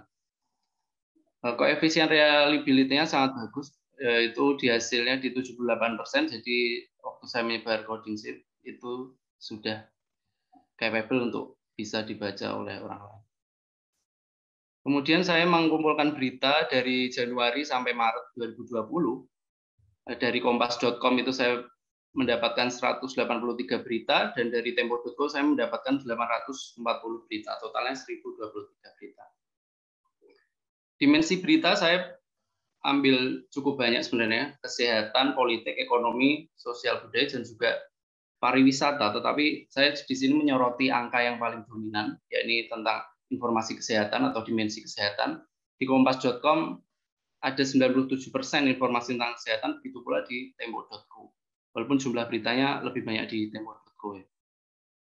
Kemudian eh, informasi berita tentang tema kesehatan itu saya ambil tentang penyebaran virus, pencegahan, gejala, deskripsi, dan juga pengobatan. Tapi di sini dua angka yang menonjol adalah tentang penyebaran dan juga pencegahan. Untuk kompas.com, sebanyak 70% berita adalah tentang penyebaran, penyebaran virus, sedangkan 23 eh, persennya tentang pencegahan. Untuk Tempo.co sendiri 79 persen tentang penyebaran dan tentang pencegahan 19 persen. Ini hasil tabulasi silang antara dimensi berita dan juga narasumber berita. Untuk kompas.com, di sana dapat dilihat saya menyoroti bagian kesehatan karena saya fokus di health communication atau komunikasi kesehatan. bisa dilihat bahwa berita tentang kesehatan justru paling banyak dibahas oleh media asing. Dan yang kedua, peringkatnya adalah pemerintah pusat atau pemerintah eh, daerah kita. Sedangkan yang ketiga atau yang paling kecil justru dibahas oleh pakar gitu. Pakar malah mendapat porsi paling kecil di sini untuk membahas berita tentang kesehatan. Perlu saya jelaskan foreign media di sini atau media asing contohnya ini saya taruh di sini itu ada BBC, Reuters, Washington Post dan Tempo.co sama Kompas.com itu hanya mengutip pernyataan yang ada di sana dan seringnya memang apa ya pemerintah negara lain gitu, bukan ahli-ahli di negara lain. Kemudian untuk Tempo.co di sini eh, hampir sama bahkan sama persis untuk media asing 170 berita membahas yang narasumbernya adalah media asing sedangkan pemerintah pusat ada 132 berita dan untuk pakar hanya mendapat porsi 65 berita yang membahas tentang kesehatan. Oke, eh, pembahas masuk ke pembahasan komunikasi kesehatan di masa bencana, bencana non alam khususnya itu membutuhkan kata-kata yang atau data yang berdasar bukti ilmiah dan juga harus berasal dari sumber yang terpercaya. Sedangkan apa dari hasil yang saya dapatkan tadi, justru eh, pembahasan tentang kesehatan banyak dibahas oleh media asing dan juga pemerintah daerah atau pemerintah pusat yang notabene nggak ahlinya di bidang itu. Gitu. Eh, salah satu contohnya yang waktu itu saya dapatkan adalah eh, bagaimana Mahfud MD dan juga Ma'ruf Amin selaku wakil presiden itu mengatakan bahwa virus corona nggak akan masuk ke Indonesia. Ya, ini berkat doa ulama begitu. Itu termasuk blunder ada beberapa statement dan semua keluar ya. Tapi saya hanya menyoroti itu karena itu salah satu contoh bahwa dia bukan ahlinya di sana dan dia mengatakan tentang itu. Oke dia ahli taruhlah Ma'ruf Amin ahli di bidang agama, tapi apakah di agama sendiri dijelaskan bahwa kita harus berikhtiar. Ikhtiar itu usaha dan doa. Dan beliau hanya menyampaikan tentang doa. Dan usahanya tidak disorot di sana. Kemudian tentang persamaan persepsi atau kesamaan persepsi antara media dan audiens. Ini terkait dengan agenda setting. Jadi media di sini, eh, menurut pandangan saya, belum bisa menyamakan persepsi dengan masyarakat karena tidak menyediakan informasi yang sebetulnya dibutuhkan oleh masyarakat. Dulu, kalau mau diingat, awalnya eh, mungkin karena kecepatan yang dikejar ya, jadi keakuratan agak diabaikan. Itu adalah tentang penggunaan masker yang awalnya memang eh, dikatakan masker hanya dipakai orang yang sakit. Nah, itu pernyataan terawan sebenarnya dan dikutip media dan di post berulang gitu. Sampai akhirnya masyarakat berpikir atau Mas mohon maaf waktunya sudah habis mungkin langsung bisa ke Oh oke okay. ya saya mau mengatakan bahwa berita-berita yang tidak eh, sesuai pada tempatnya itu bisa menciptakan stigma. Habis itu yang kedua, eh, media terbukti belum objektif. Kemudian eh, penyeleksian atau pemilihan terhadap narasumber berita belum sesuai gitu oleh media online kompas.com dan. Kemudian high traffic mandate atau baik klik itu mereka masih ngejar itu high traffic. Jadi kadang berita yang dikeluarkan adalah berita-berita yang uh, blow up atau yang yellow journalism seperti statement-statement pemerintah yang tidak perlu. Yang itu sebenarnya masyarakat nggak perlu tahu ketika dalam konteks mengatasi bencana. Seperti itu. Terima kasih, Mas Wisnu. Oh, ya, oke. Okay. Terima kasih, Mas Raden uh, Aditya. Uh, menarik juga saya kira uh, beliau meneliti, saya kira tadi periode yang diteliti di awal pandemi ya, Mas ya, Januari sampai Maret 2020 begitu ya. Saya kira tadi kesimpulan yang yang yang cukup menarik ketika beliau menyebut tentang uh, banyak media yang tidak menyediakan informasi yang sebenarnya dibutuhkan publik ya dan itu terjadi yeah. di momen-momen saya kira kritis karena di awal terjadinya pandemi di mana kita yeah. saya kira masih banyak kebingungan ini sebenarnya penyakit apa, virus apa dan apa yeah. yang harus dilakukan gitu ya. Tapi justru kebanyakan memberikan ruang lebar untuk tadi ya blunder komunikasi publik banyak yeah. uh, iya. tokoh begitu ya. Oke terima yeah. kasih uh, terima kasih mas atas presentasinya saya kira yeah. Iya. uh, menarik. Nah teman-teman kita masuk ke sesi tanya jawab ya, tapi saya juga sudah diingatkan panitia waktu kita untuk uh, sesi tanya jawab hanya 15 menit dan saya kira tadi uh, di kolom chat saya kira teman-teman juga uh, sudah bisa uh, membaca beberapa pertanyaan ya. Tadi saya kira ada pertanyaan yang ditujukan untuk uh, saya sambil scroll untuk Mbak Tri Kurnia, untuk Mas Oni, juga untuk Mbak Prita juga saya kira tadi. Jadi uh, saya nggak akan membacakan satu persatu uh, pertanyaannya karena kita juga terbatas waktunya. Uh, saya berharap teman-teman uh, presenter bisa uh, membacanya begitu. Saya akan persilahkan terlebih dulu karena ini sepertinya yang paling banyak ditujukan untuk Mbak Trikurnia ya untuk uh, apa namanya pertanyaan-pertanyaannya. Saya akan persilahkan kepada Mbak Tri Kurnia terlebih dulu untuk merespon dan merangkum semua pertanyaan. Singkat saja mungkin Mbak, waktu kita terbatas. Kemudian setelah itu ke Mas Oni ya, tadi ada pertanyaan. Kemudian setelah itu ke Mbak Prita. Jadi nanti kalau ada pertanyaan ke Mas Abdul Aziz dan juga ke Mas Raden Arditya eh, eh, setelahnya begitu. Saya akan persilahkan terlebih dulu kepada Mbak Tri Kurnia. Tadi yang pertama ada pertanyaan eh, bagaimana koordinasi aksi teror melalui room diskusi, kemudian juga uh, apa lagi tadi? Saya agak kehilangan jejak scrollingnya, tapi saya berharap uh, Mbak Trikunia sudah sempat membacanya, termasuk narasi para kerutan teroris sesama perempuan. Apa sih yang membuat uh, para perempuan ini bisa diyakinkan untuk uh, berpartisipasi dan apakah ada perbedaan antara narasi terorisme di perempuan dan uh, apa namanya dan pada umumnya. Saya persilakan kepada Mbak Trikunia terlebih dulu untuk uh, merespon. Oke, terima kasih Mas Wisnu untuk pertanyaan pertama yang terkait game online gitu. Sebetulnya saya belum menemukan gitu uh, dalam konteks perempuan ya itu bahwa mereka menggunakan game online gitu. Tapi saya Uh, tapi game online itu sebetulnya juga salah satu medium yang uh, berpotensi juga digunakan gitu. Nah, uh, kalau ingin sedikit cerita, jadi memang uh, sebetulnya media digital itu media itu sudah digunakan, media online digunakan uh, sejak lama oleh para kelompok teroris yang dulu mungkin teman-teman tahu ada MIRC seperti itu, kemudian ada juga uh, apa namanya? Yahoo server, uh, server serverless apa?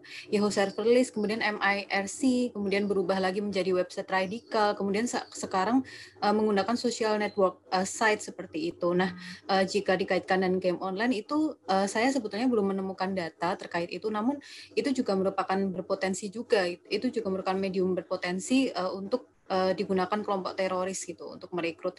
Namun bila dikaitkan dengan kelompok perempuan, saya agak uh, pesimis sedikit gitu karena memang uh, seperti yang kita tahu ada peran-peran gender di luar sana yang kemudian mengkotak-kotakan antara uh, perempuan dan laki-laki. Sedangkan game online itu sering kali dilekatkan dengan kehidupan laki-laki gitu. Jadi uh, kalau untuk konteks perempuan sendiri mungkin saja uh, saya sendiri merasa itu mungkin belum di apa ya belum dilirik itu oleh para uh, perempuan gitu. Namun uh, apa namanya uh, jika dikaitkan dengan teroris laki-laki mungkin sudah mulai uh, dipakai seperti itu. Tapi itu juga tidak menutup kemungkinan kalau nantinya perempuan juga akan menggunakan game online gitu untuk melancarkan aksi terornya seperti itu. Kemudian yang kedua narasi-narasi apa gitu. Dari jadi dari temuan data saya itu uh, apa ya perempuan ini semacam ada sisterhood seperti itu. Jadi mereka merasa senasib sepenanggungan. Mereka merasa bahwa uh, ketika mereka mengekspresikan diri di media digital itu mereka bisa mendapatkan otoritas atau kemandirian yang mungkin tidak mereka dapatkan gitu di dunia nyata seperti itu. Dan uh, biasanya kalau misalnya teman-teman tahu dulu ada satu uh, teroris perempuan gitu yang dia merupakan uh, migran di Cina seperti itu. Migran Cina atau dari mana gitu saya agak lupa seperti itu. Dan itu uh, banyak kemudian uh, apa ya mereka berpotensi menjadi teroris itu karena mereka di sana menjadi minoritas dan mereka juga kesepian seperti itu. Pada akhirnya mereka mengakses media-media digital dan kemudian uh, mereka terpapar seperti itu karena mereka seakan menemukan teman seperti itu. Jadi uh, apa ya uh, setelah itu mereka jadi uh, bergabung dengan gerakan teroris seperti itu. Seperti itu sih Mas Wisnu. Terima kasih Oke, terima kasih Mbak Trikurnia. Saya kira uh, meskipun mungkin belum bisa menjawab, tapi memberikan gambaran ya terkait dengan uh, bagaimana uh, peran perempuan dan juga uh, narasi juga saya kira ya uh, terkait dengan uh, perempuan dan uh, isu terorisme. Nah, kemudian uh, yang kedua, nanti mungkin kalau uh, Mbak Tikurnya mau merespon lagi, uh, saya akan persilahkan ke presenter yang lain dulu gitu. Ke yang kedua kepada Mas Oni tadi ya, saya kira ada satu pertanyaan yang terkait dengan paper yang disampaikan oleh Mas Oni tadi terkait dengan apakah bisa disimpulkan secara firm gitu dari apa yang disampaikan Mas Oni tadi bahwa komunikasi Jokowi itu bisa disebut sebagai nothing Jokowi begitu. Karena ucapan Jokowi ini dari Pak Henry ya eh, itu tidak bisa diterjemahkan serta merta eh, di, di apa disimpulkan dari omongan kemudian harus dilaksanakan sesuai ucapan. Nah, saya persilakan kepada eh, Mas Oni untuk merespon. Baik, terima kasih. Jadi untuk kasus ini ya, kasus spesifik yang saya sampaikan ini, saya bisa menyimpulkan bahwa ini adalah nothing ya karena apa? Yang terkait pertanyaan dengan TWK. TWK kalau terkait dengan penegakan hukum memang Presiden tidak ada keterhubungan yang bisa mengintervensi. Tetapi ini terkait dengan administrasi kepegawaian. Nah, di dalam uh, uji materi MK sudah dijelaskan bahwa tidak boleh proses-proses itu uh, merugikan pegawai KPK. Nah, itu itu yang kemudian uh, harus sebenarnya di apa dilaksanakan oleh uh, bawahan presiden melalui uh, PKN dan seterusnya sehingga tidak terjadi uh, penilaian Ombudsman RI dan Komnas HAM yang uh, uh, salah ya terkait dengan proses-proses itu. Kemudian ada juga dulu uh, kritik uh, pemilihan KPK dan seterusnya. Kemudian terkait dengan menyampaikan pendapat ya. Uh, ini kasusnya adalah pada Oktober 2019, jadi belum pandemik ya. Jadi uh, kemudian yang perlu kita pahami adalah bahwa uh, nilai fundamental demokrasi itu adalah menyampaikan pendapat dan salah satunya adalah demo. Jadi kalau cara berpikirnya kita atau cara berpikir uh, lembaga pemerintahan di bawah presiden itu memahami itu, tentu akan berbeda actionnya. Jadi kalau kita lihat Undang-Undang Nomor 9 Tahun 98 tentang kemerdekaan menyampaikan pendapat, dalam uh, pasal-pasalnya dan ayatnya itu sudah dijelaskan bahwa Polri wajib menerima surat tanda pemberitahuan demo itu. Jadi tidak boleh dia menolak secara undang-undang tetapi dengan alasan diskresi. Nah, repotnya alasan diskresinya itu kan eh, Polri menyatakan begini, ada undangan negara lain, kemudian menyangkut nama baik. Jadi terlihat sekali bahwa eh, diskresi Polri itu mengarahnya ke oligarki kekuasaan, pembelaan pada oligarki kekuasaan, tidak pada pembelaan eh, fundamental dari yang dicantumkan dalam undang-undang tentang hak menyampaikan berpendapat. Sehingga ini memang harus kita urai panjang terkait dengan Eh, eh, power terkait dengan kekuasaan, oligarki dan seterusnya. Jadi kalau kita hanya membahas ansih bahwa ini adalah presiden eh, yang tidak bisa bergerak ke bawah dan seterusnya, ini memang apa satu kesimpulan yang apa sempit ya. Tetapi kalau kita urai lebih panjang nanti kalau ada waktu lebih panjang mungkin saya bisa menjelaskan banyak sekali hal-hal yang sebenarnya bisa kita baca bahwa ini adalah Eh, satu eh, apa proses dari lembaga eh, di bawah presiden yang itu lebih condongnya ke oligarki kekuasaan. Itu Pak. Terima kasih. Oke, terima kasih uh, Mas Oni. Saya kira uh, cukup uh, menjawab tadi ya uh, pertanyaan yang uh, diajukan. Saya akan langsung saja karena memang agak tidak nyamannya kalau dibatasi waktu kita harus coba memberikan ruang yang sama gitu ya dengan presenter yang lain. Saya akan langsung saja ke pertanyaan-pertanyaan yang diajukan kepada Mbak Prita begitu ya. Tadi saya kira ada beberapa pertanyaan yang bisa saya uh, lacak di kolom chat. Yang pertama terkait dengan sebenarnya media apa saja yang meliput uh, apa dan mengutip Hadi Pranoto tadi, uh, Mbak Prita. Hmm. Apakah media media mainstream atau media-media apa yang tidak terdaftar di Dewan Pers begitu. Kemudian yang kedua sebenarnya apa yang yang bisa dilakukan oleh jurnalis ya dalam kondisi seperti uh, saat ini begitu ketika kemudian media hanya uh, men, apa, uh, justru um, memberikan ruang banyak bagi uh, misinformasi begitu. Saya persilakan Mbak Prita, ini juga sudah diingatkan panitia ternyata. Okay. Oke. Okay. Saya mohon Semoga... maaf teman-teman, uh, silakan saya ke Mbak Prita. Oke, uh, semoga uh, bisa menjawab ya. Tadi mungkin presentasinya buru-buru. Uh, tadi yeah. saya sudah ya. sebutkan, Mas Henry dan Mbak Prima.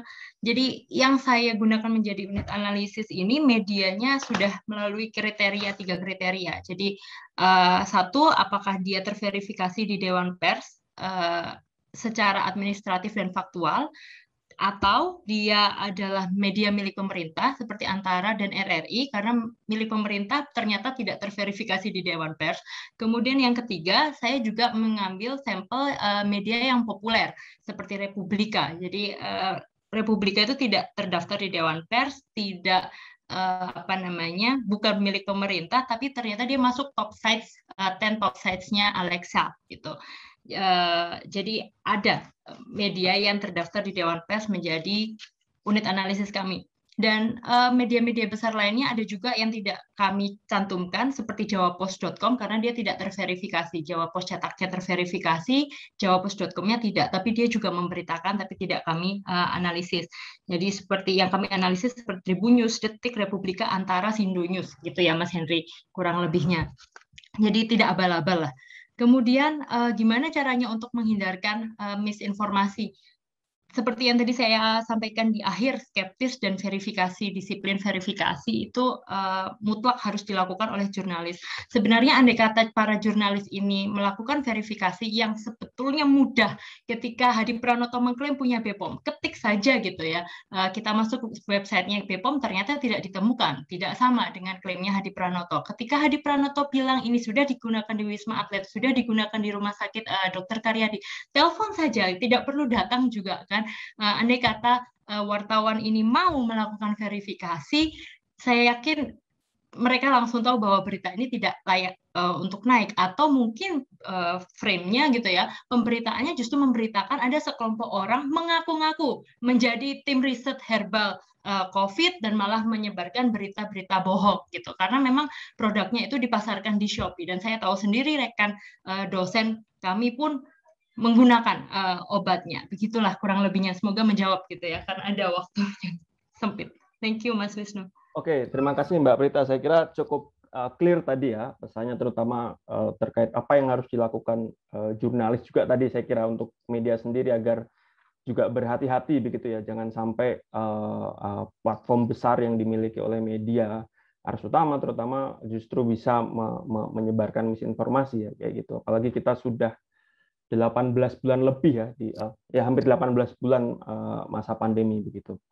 Nah, uh, kita masih ada waktu sekitar dua menit, dua menit, tiga menit maksimal begitu. Nah, saya akan memberikan kesempatan untuk kepada apa namanya Mas Abdul Aziz atau Mas Raden Arditya mungkin ada yang mau direspon atau ditambahkan singkat saja mungkin masing-masing satu menit begitu yang mau di highlight dari apa yang tadi sudah uh, disampaikan uh, di depan. Mungkin ke Mas Abdul Aziz dulu, barangkali ada yang mau ditambahkan. Singkat saja, Mas.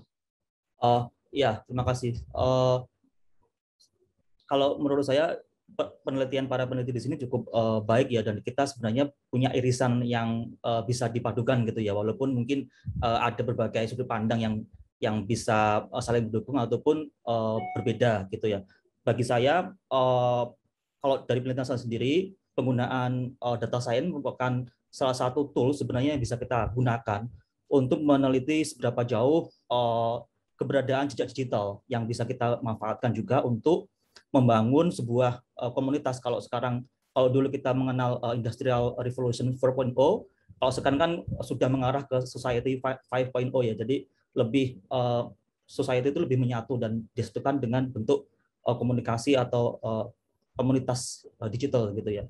Mungkin uh, itu saja dari saya. Terima kasih Mas. Oke, terima kasih Mas Abdul Aziz. Ke Mas uh, Raden Arditya, silahkan. Iya, saya yang menambahkan tadi agak beririsan juga sama punya Mbak Prabawangi. Jadi um, blunder yang dilakukan pemerintah itu menimbulkan bias optimisme yang mana itu memang disorot dalam komunikasi kesehatan dan juga public health communication itu sebagai hal yang tidak bagus gitu karena bias optimisme merasa bahwa di iklim tropik kita tidak bakal tertular, bahwa corona bisa dilawan hanya dengan doa, itu adalah bias optimisme yang harus dihindari. Dan media harus menjadi eh, media punya fungsi advokasi untuk akhirnya mendorong pemerintah apa memutuskan atau mengeluarkan kebijakan publik terkait pandemi ini. Ketika media ada di posisi yang lebih condong ke masyarakat, maka penyampaian pesan dari masyarakat ke pemerintah pasti akan lebih baik lagi. Gitu. Yang kedua, media harus berhati-hati menyampaikan pesan sensitif utamanya terkait pelabelan seperti virus Wuhan atau eh, penyintas COVID karena itu akan menimbulkan stigma negatif ketika akhirnya di masyarakat kita masih dipandang bahwa orang yang terjangkit COVID itu sangat infeksius, misalnya seperti itu. Jadi media harus mampu untuk menjadi media advokasi dan mengedukasi masyarakat dengan cara yang baik dan benar. Terima kasih. Oke, terima kasih Mas Rarin Ardidia. Saya kira loud and clear tadi ya pesannya. Uh, lagi kita lagi-lagi masih di uh, era ketidakpastian juga begitu. Uh, dan kita juga belum tahu pandemi sampai kapan akan selesai. Jadi kita juga uh, berharap media bisa uh, uh, menjadi bagian dari uh, upaya untuk kita segera keluar dari uh, pandemi begitu ya. Oke, uh, teman-teman, saya sudah diingatkan panitia lagi bahwa waktunya sudah habis, yang di room sebelah juga sudah selesai. Jadi saya nggak akan menyimpulkan karena eh, teman-teman eh, risetnya menarik dan beragam. Jadi saya hanya menunggu paper teman-teman dipublikasikan gitu. Saya kira akan jadi satu paper yang yang menarik dari dari teman-teman dan kita bisa mungkin nanti berdialog lebih panjang di dari paper yang teman-teman tulis begitu. Saya kira begitu saja kesimpulan dari saya. Dan sekali lagi, mohon maaf waktunya karena terbatas, jadi saya kira sebenarnya masih banyak yang ingin digali, tapi ya eh, nanti eh, saya menunggu paper teman-teman eh, dipublikasikan begitu. Oke, saya kira begitu teman-teman. Sekali lagi terima kasih. Saya mewakili panitia mengucapkan terima kasih atas presentasi yang sudah teman-teman sampaikan, paper yang menarik dan bisa menjadi apa provoking begitu ya, memprovokasi Eh, pikiran kita untuk kemudian membuat riset-riset selanjutnya dan nanti kita bisa berdialog lebih eh, banyak eh, berdasarkan riset yang teman-teman publikasikan nanti. Saya kira begitu dari saya. Silakan teman-teman untuk kembali ke main room begitu. Mungkin nanti akan ada beberapa pengumuman dari panitia. Terima kasih. Selamat siang dan semoga sehat-sehat selalu.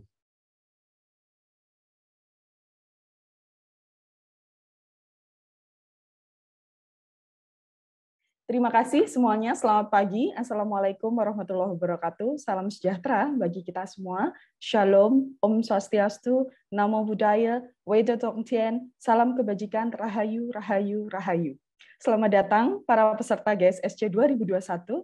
Selamat datang di Universitas Gajah Mada. Salam hangat dari Yogyakarta.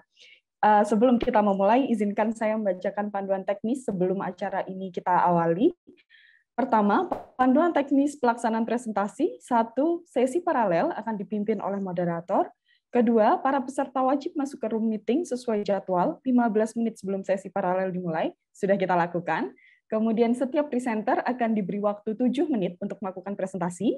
Presenter berjumlah satu orang dan merupakan perwakilan dari penulis karya. Presentasi dapat menggunakan bahasa Indonesia dan bahasa Inggris materi presentasi terdiri dari 5, 10 sampai 15 slide atau dapat menyesuaikan waktu presentasi. Presenter diharapkan menyiapkan materi presentasi dan sesi tanya jawab dilakukan setelah semua presenter melaksanakan presentasi. Terakhir, sesi tanya jawab akan dilaksanakan 15 menit. Penanya dapat menggunakan fitur raise hand dan diperbolehkan mengaktifkan mikrofon setelah diizinkan oleh saya selaku moderator. Atau Anda juga bisa menyampaikan pertanyaan melalui kolom chat di Zoom ini dengan format nama lengkap, underscore instansi, underscore pertanyaan. Oke, okay. uh, eh, kalau begitu kita awali sesuai urutan. Uh, Mbak Afifah dulu untuk presenter pertama, kita punya Mbak Afifah Rizky Pratomo dari Universitas Gajah Mada dengan judul Strategi Pemasaran Traveloka merespon fenomena staycation selama pandemi COVID-19. Mbak Afifah, Anda punya waktu 7 menit untuk menyampaikan presentasi Anda. Silahkan Anda bisa share screen sekarang. Untuk uh, peserta yang lain, ya. Presentasi rekan saya, Azrina. Oh, oke okay, baik. Kalau begitu uh, saya putar aja ya. Saya dahulukan teman-teman yang sudah hadir duluan. Boleh? Oh, Bisa ya? Azrina ya? sudah sudah hadir.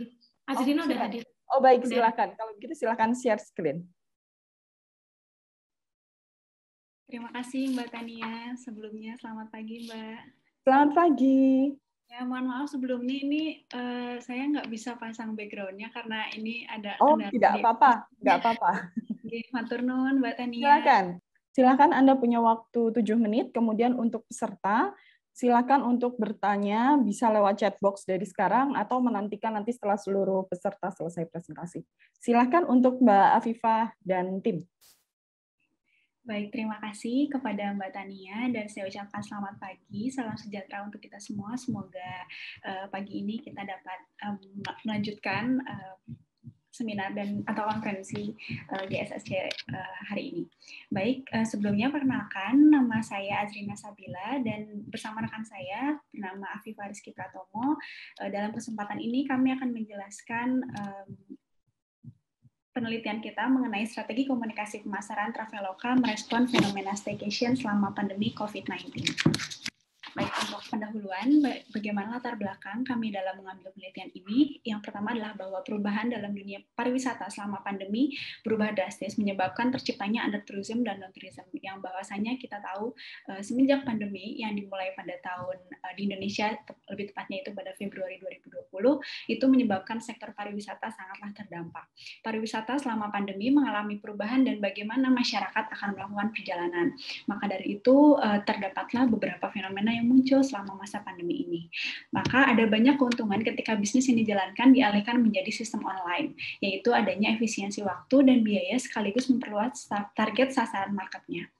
Nah, salah satu platform digital marketing yang dapat dimanfaatkan oleh industri hotel yaitu hospitality marketplace, di mana hospitality marketplace di sini eh, Indonesia memiliki beberapa eh, marketplace yang menyuguhkan mengenai hospitality. Salah satunya adalah Traveloka. Dan salah satu marketplace yang banyak dimanfaatkan oleh industri hotel yaitu Traveloka yang juga sangat dikenal oleh masyarakat Indonesia. Dan fenomena staycation ini menjadi sebuah kebiasaan baru yang menjadi tujuan utama masyarakat sebagai salah satu satu upaya untuk mengurangi mobilitas masyarakat. Maka dari itu, dalam penelitian ini, kami akan meneliti mengenai bagaimana strategi komunikasi yang dilakukan oleh Traveloka, yaitu dalam merespon fenomena staycation selama masa pandemi COVID-19. Penelitian ini menggunakan metode kualitatif dengan studi literatur atau studi dokumen. Objek penelitian ini adalah strategi komunikasi kemasan Traveloka dan mengambil data penelitian yang dilakukan selama bulan Juli-Agustus. Namun, penelitian ini meneliti dari fenomena pemasaran Traveloka dan strategi komunikasinya selama masa pandemi, yaitu uh, dari bulan Februari 2020 hingga saat ini. Selanjutnya, maka dari itu eh, teori yang kami pakai eh, dalam penelitian ini yaitu target strategi eh, yaitu strategi komunikasi di mana strategi komunikasi ini menekankan kepada bagaimana upaya serta cara-cara komunikasi yang terdiri dari beberapa komponen untuk mendapatkan target strategi komunikasi. Di antaranya adalah target awareness, interest, juga loyalty. Di mana target awareness adalah strategi perubahan pengetahuan, di mana di sini uh, menekankan kepada pengetahuan atau kepada uh, informasi kepada masyarakat mengenai uh, pesan yang akan disampaikan. Kemudian interest adalah bagaimana kita meningkatkan minat atau ketertarikan kita terhadap hal tersebut dan dengan tujuan yang utama yaitu loyalty atau strategi perubahan perilaku. Next. Baik, dari hasil dan pembahasan ini dapat kami uh, rangkum menjadi beberapa poin. Yang pertama adalah pemasaran di pemasaran digital, di mana Traveloka di sini memang sebelumnya sudah melakukan pemasaran digital karena memang uh, mereka menyediakan hospitality marketplace. Namun uh, pemasaran digital pada masa pandemi ini berfokus pada kegiatan online maupun iklan konvensional yang menekankan kepada bagaimana fenomena staycation dititik ditekankan menjadi pesan utama dalam strategi komunikasinya. Dan yang kedua adalah target targetnya yang utama yaitu milenial. Di mana di sini uh, Traveloka menggunakan beberapa metode-metode yaitu web series, Traveloka Experience dan, dan juga diskon pemesanan. Mungkin teman-teman di sini Mas Bal juga pernah mendengar juga beberapa target-target um, target-target uh, strategi komunikasi Traveloka yang menyusur pada anak anak-anak muda. So, contohnya adalah seperti uh, Traveloka uh, pay letter seperti itu dan juga uh, beberapa iklan-iklan uh, yang dilakukan oleh Traveloka melalui selebgram selebgram. Dan selanjutnya adalah fenomena staycation, di mana fenomena staycation ini uh, secara pengertiannya yaitu bagaimana kita dapat berliburan dan menikmati liburan selama masa pandemi dalam jangka waktu yang dekat, jangka waktu yang pendek, dan dengan lokasi yang sangat dekat. Dan di mana dalam era new normal ini, fenomena liburan itu sangat menekankan pada staycation untuk menghindari beberapa kemungkinan terburuk dalam uh, menyebarnya virus corona.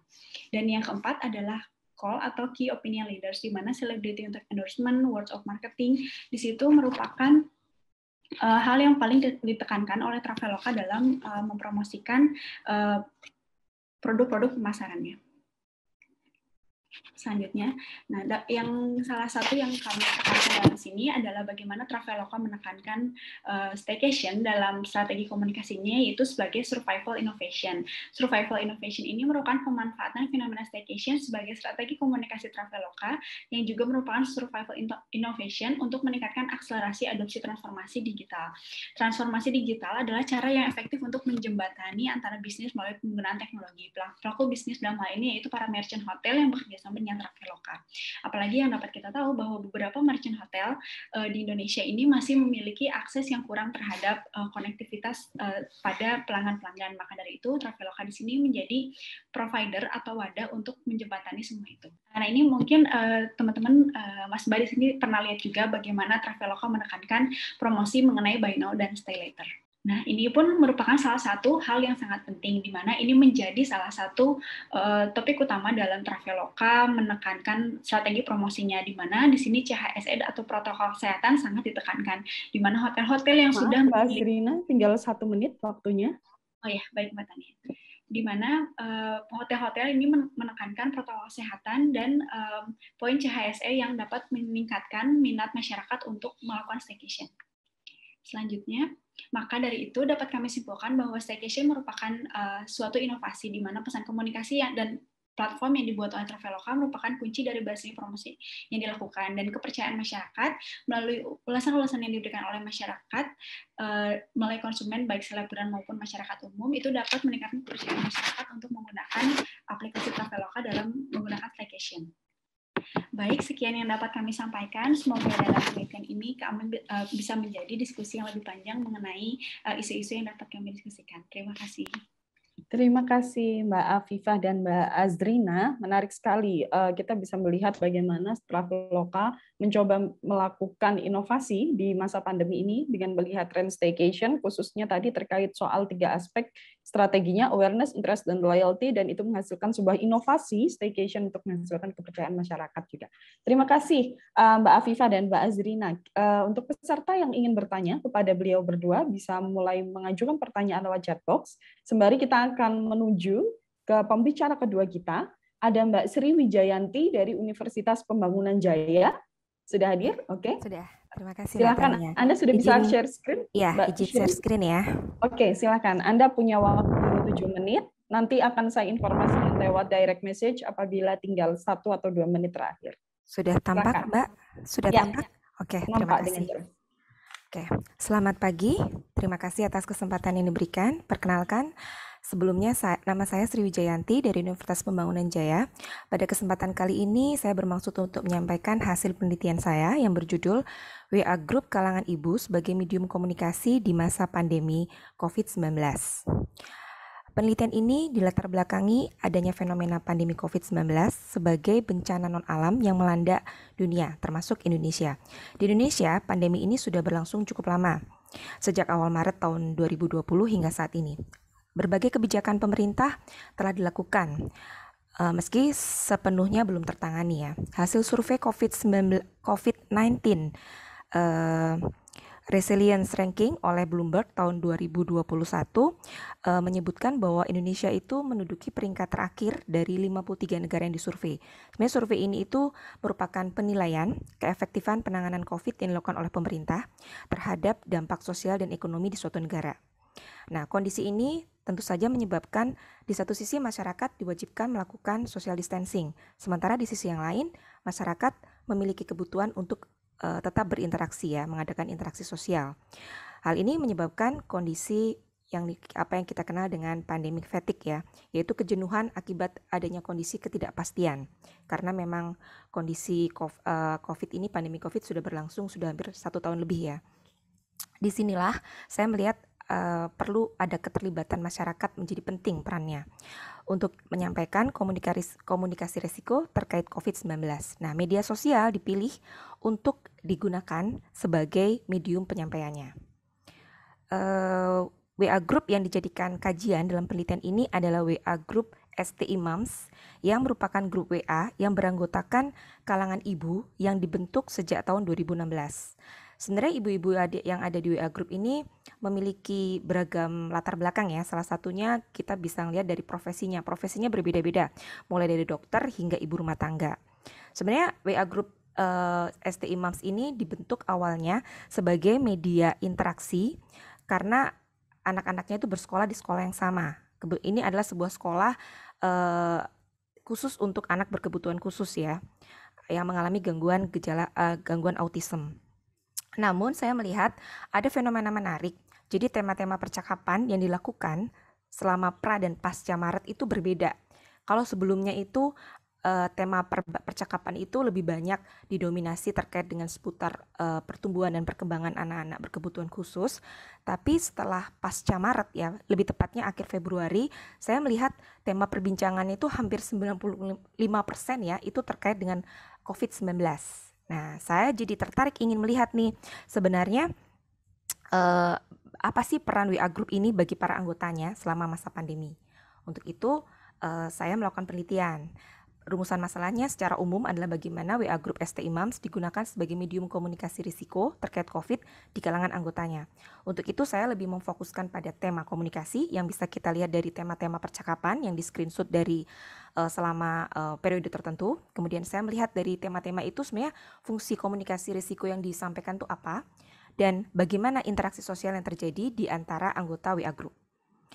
Dan untuk menjawab rumusan masalah yang tiga tadi itu, saya berusaha untuk melihatnya dari konsep komunikasi risiko dan tentu saja bagaimana peran media sosial ya sebagai medium penyampaian pesan komunikasi risiko.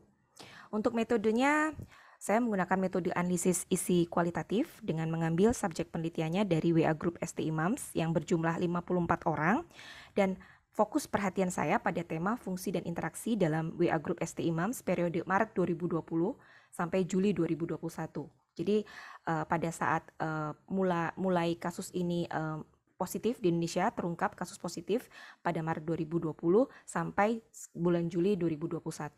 Data primer saya ambil dari postingan. Postingan itu aslinya apa apa saja yang di, diunggah, apa saja yang ditaruh di dalam percakapan itu dalam percakapan WA Group serta komentar percakapan di antara anggota WA WhatsApp Group terkait COVID ya, terkait COVID saja.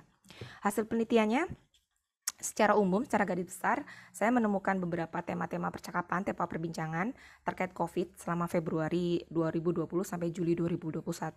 Kemudian saya juga menemukan tiga fungsi komunikasi resiko yang dijalankan dan uh, ada berbagi, ada beberapa uh, hal yang terkait dengan bagaimana bentuk interaksi yang terjadi di antara anggota WA Group ST Imams tersebut.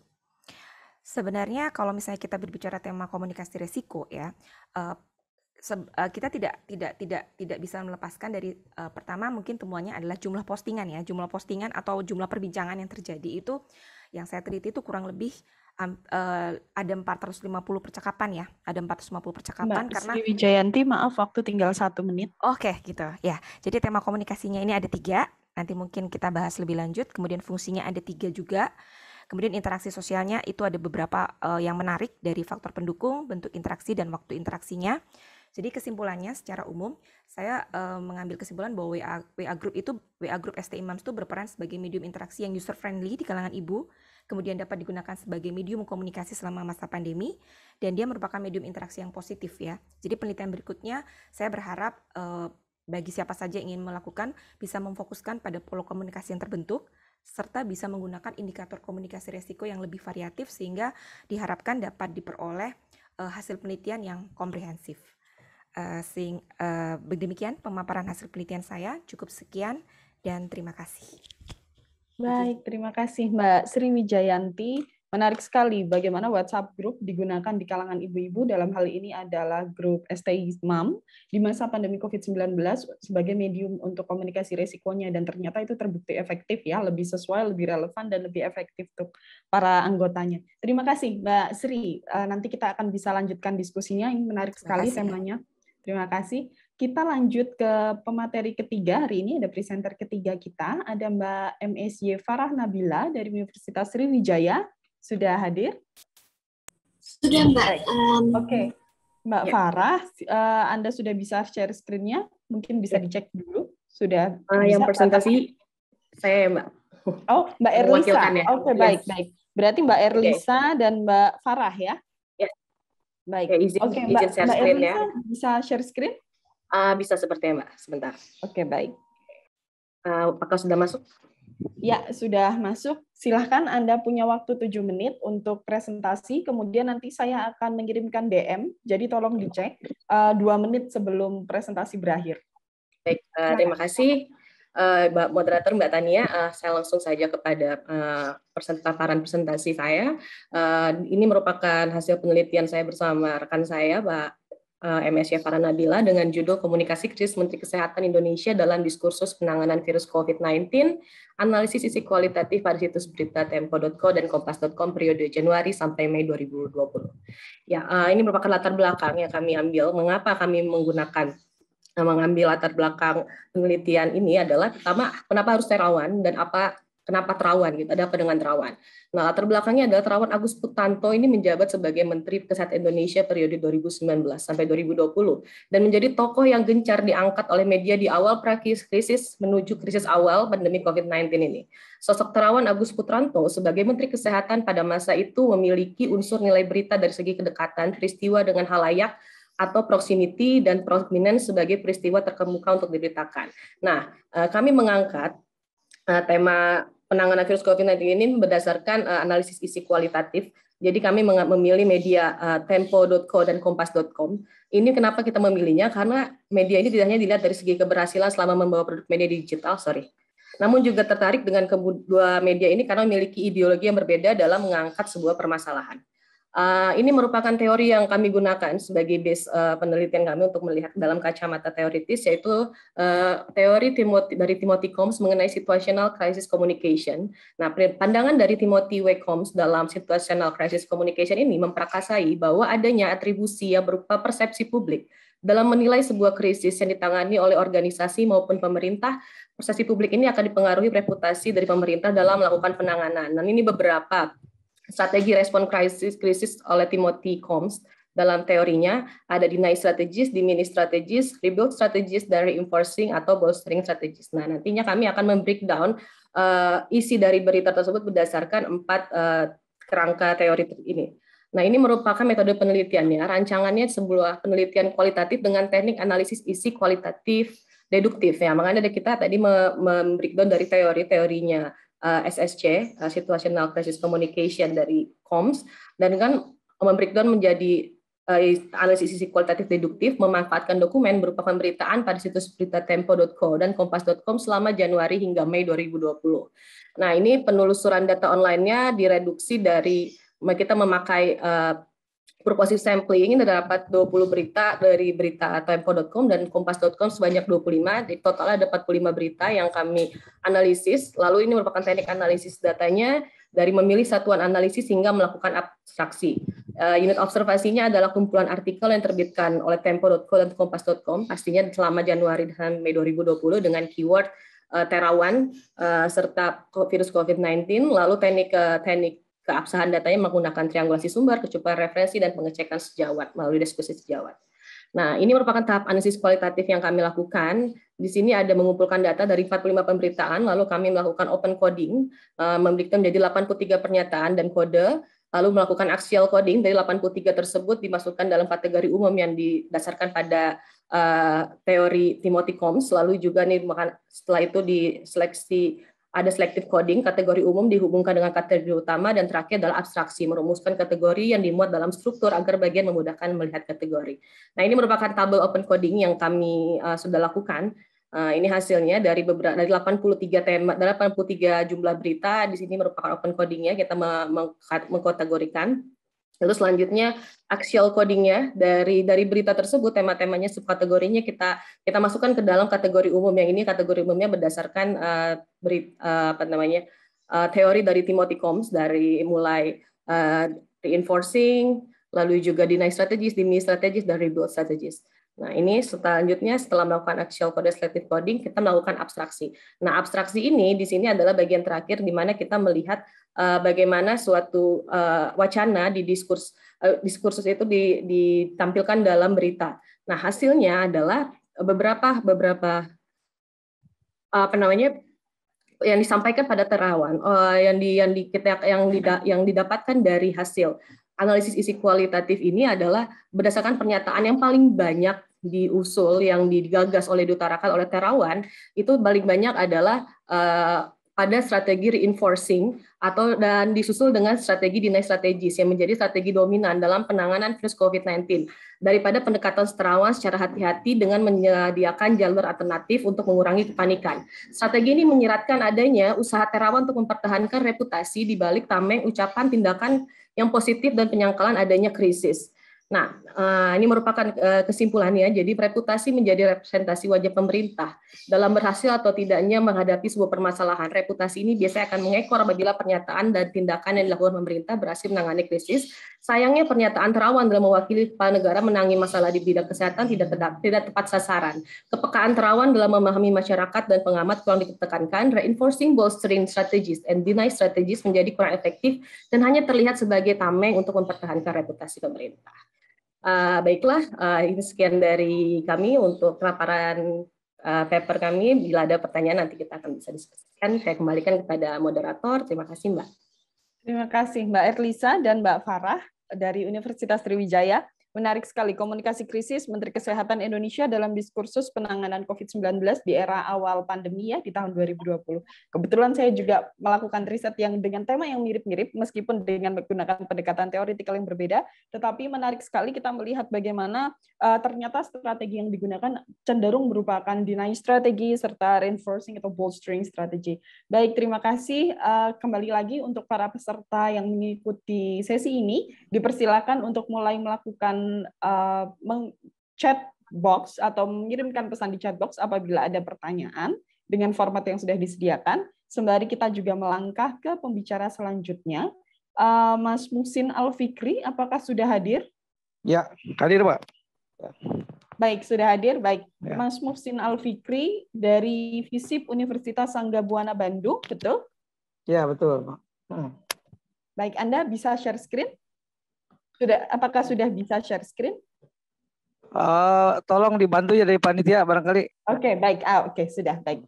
Uh, baik, pembicara kita selanjutnya untuk presenter hari ini adalah Mas Ham Musin Alfikri dari FISIP Universitas Sangga Buana Bandung dengan judul Strategi Komunikasi Kesehatan dalam Penanggulangan Pandemi COVID-19 di Jawa Barat. Wah, ini ada kedekatan tema nih dengan uh, riset Mbak Erlisa dan Mbak Farah. Baik, Mas uh, Musin, Anda punya waktu tujuh menit untuk mempresentasikan hasil karya Anda. Nanti saya akan menginformasikan via direct message untuk uh, dua menit terakhir atau satu menit terakhir sebelumnya akan saya sampaikan juga. Baik, silahkan dimulai. Ya, Assalamualaikum warahmatullahi wabarakatuh. Alhamdulillah, hirobil alamin, wassalatu wassalam ala asrafil anbiya wal mursalin. Eh, Bapak Ibu sekalian, eh, perkenankan saya menyampaikan atau mempresentasikan sebuah uh, paper yang berjudul Strategi Komunikasi Kesehatan dalam uh, Penanggulangan Pandemi uh, COVID-19 di uh, Jawa Barat. Sebagaimana kita maklumi bersama bahwa Jawa Barat merupakan salah satu provinsi yang sangat banyak sekali penduduknya, ya. Jumlahnya hampir 48 juta. Nah, di mana hal ini tentu saja menjadi tantangan tersendiri bagi uh, pemerintah uh, Provinsi Jawa Barat di dalam memberikan informasi-informasi terkait penanganan uh, COVID-19 ini. Jadi di sinilah pentingnya komunikasi kesehatan ya sangat relevan di mana bagaimana meyakinkan masyarakat yang begitu banyak gitu eh, tentang pola hidup yang sehat, kemudian juga eh, bagaimana memasuki adaptasi kebiasaan baru ya. Eh, dan ini juga menjadi persoalan karena masyarakat hari ini mereka sangat eh, apa namanya sangat sering sekali dibanjiri dengan berita-berita, informasi-informasi yang uh, sering kali itu berisi uh, hoax ya di tentang masalah COVID ini. Misalnya masih banyak masyarakat yang belum percaya ya adanya uh, COVID-19 gitu. Padahal uh, korbannya sudah jutaan tetapi tetap masyarakat masih banyak yang tidak percaya. Nah, ini bagaimana untuk meyakinkan masyarakat yang begitu uh, heterogen ini? Nah, maka pemerintahan provinsi Jawa Barat yang dipimpin oleh Pak Ridwan Kamil ini terus ya uh, berupaya memberikan uh, edukasi ya edukasi kepada ma masyarakat. Di sini penelitian ini akan uh, mengelaborasi upaya-upaya provinsi Jawa Barat yang dipimpin oleh Pak Ridwan Kamil bagaimana di dalam menekan angka korban yang terus meningkat ya. Lanjut, Pak. Nah, ini metodologinya uh, menggunakan kualitatif ya dengan uh, pendekatan uh, case study di mana kasus pandemi Covid merupakan uh, fenomena yang sangat luar biasa ya karena selain baru terjadi juga berdampak terhadap seluruh aspek kehidupan. Selain pengumpulan data melalui studi uh, apa namanya juga dilakukan ada dep interview ya eh, kepada eh, key informan seperti Pak Gubernur kemudian juga eh, Kepala Bapeda Jawa Barat. Nah dari hasil penelitian kita pertama kali tentu saja perlu mengetahui terlebih dahulu apa yang disebut dengan komunikasi kesehatan ya. Komunikasi kesehatan ini sangat diperlukan terlebih di dalam kondisi pandemi COVID seperti sekarang ini di mana masyarakat digital banyak uh, mengakses informasi dari internet dan sering kali mereka mempercayai berita-berita tentang uh, COVID ya ataupun vaksinasi juga beritanya dari sumber yang tidak jelas ya nah, sehingga mereka memiliki pemahaman yang keliru tentang penanganan COVID ini. Mereka banyak yang menolak untuk divaksin misalnya ya dulu. Sekarang alhamdulillah sudah mulai uh, apa sadar ya sedang sekarang banyak antrian uh, di uh, di tempat-tempat vaksinasi. Ini juga salah satunya akibat informasi yang sudah disampaikan. Uh, kemudian komunikasi kesehatan berhakikatnya adalah komunikasi yang dilakukan di ranah kesehatan yang dilakukan untuk mendorong tercapainya keadaan atau status yang sehat secara utuh, baik fisik, ya mental maupun uh, sosial. Jadi komunikasi kesehatan memiliki relasi yang kuat dengan usaha manusia untuk menjaga kesehatannya baik di tingkat individu, kelompok, organisasi maupun uh, pemerintahan. Nah, ada uh, beberapa strategi uh, komunikasi kesehatan yang sudah dilakukan oleh Pemprov Jawa Barat. Silakan slide berikutnya, Mbak. Yang pertama adalah uh, pemerintah Provinsi Jawa Barat membuat sebuah aplikasi yang disebut dengan Picobar. Ya. Jadi aplikasi Picobar ini uh, hasil dari inovasi Pak Ridwan Kamil, di mana di sini membuat berbagai macam informasi ya yang berkaitan dengan masalah penanganan uh, COVID. Misalnya jumlah yang terkonfirmasi positif, kemudian juga jumlah yang meninggal, Eh, termasuk juga rumah sakit rujukan. Bahkan kemarin terakhir adalah menyiapkan informasi tentang uh, oksigen ya ketika kemarin ada kelangkaan. Di sini di aplikasi Picobar ini sangat lengkap sekali. Uh, bahkan ada juga uh, konsultasi 24 jam secara uh, online ya. Jadi mereka masyarakat bisa menanyakan apa pun tentang COVID ini di Picobar. Yang uh, keduanya Mas Mohsin, adalah maaf waktu hanya tinggal dua menit lagi. Terima ya. kasih. Iya, enggak.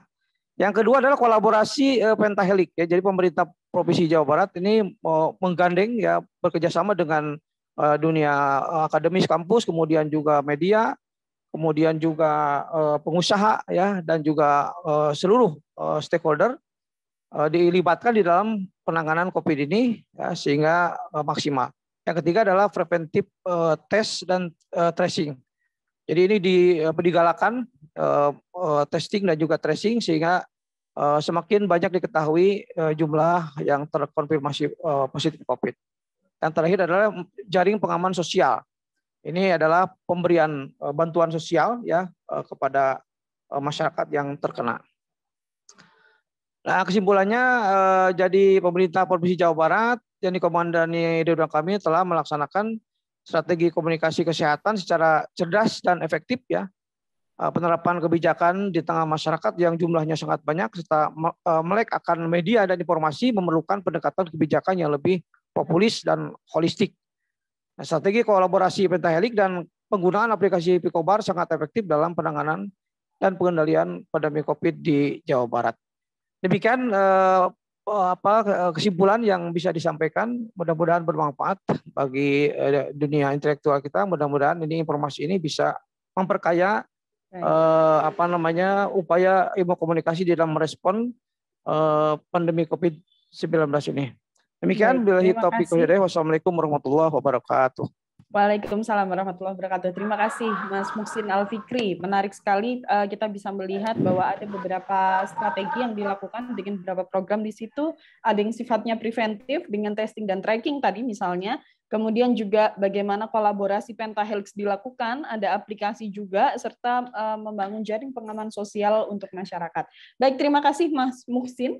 Selanjutnya kita ada Mas Umar dari Universitas Erlangga, namun saya mendapat informasi bahwa beliau tidak bisa hadir hari ini, sehingga presentasi akan dilakukan via video, melakukan video presentasi. Mungkin dari titik teknis bisa dibantu untuk share screen.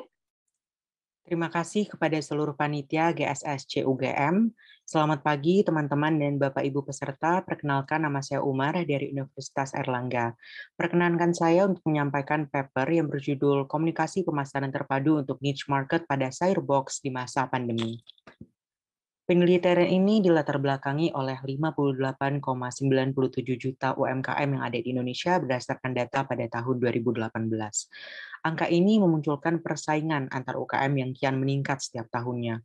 Oleh karena itu, pasar ceruk atau niche market menjadi solusi untuk memenangkan persaingan, di mana perusahaan atau produsen bisa memenuhi kebutuhan spesifik para konsumen melalui niche market.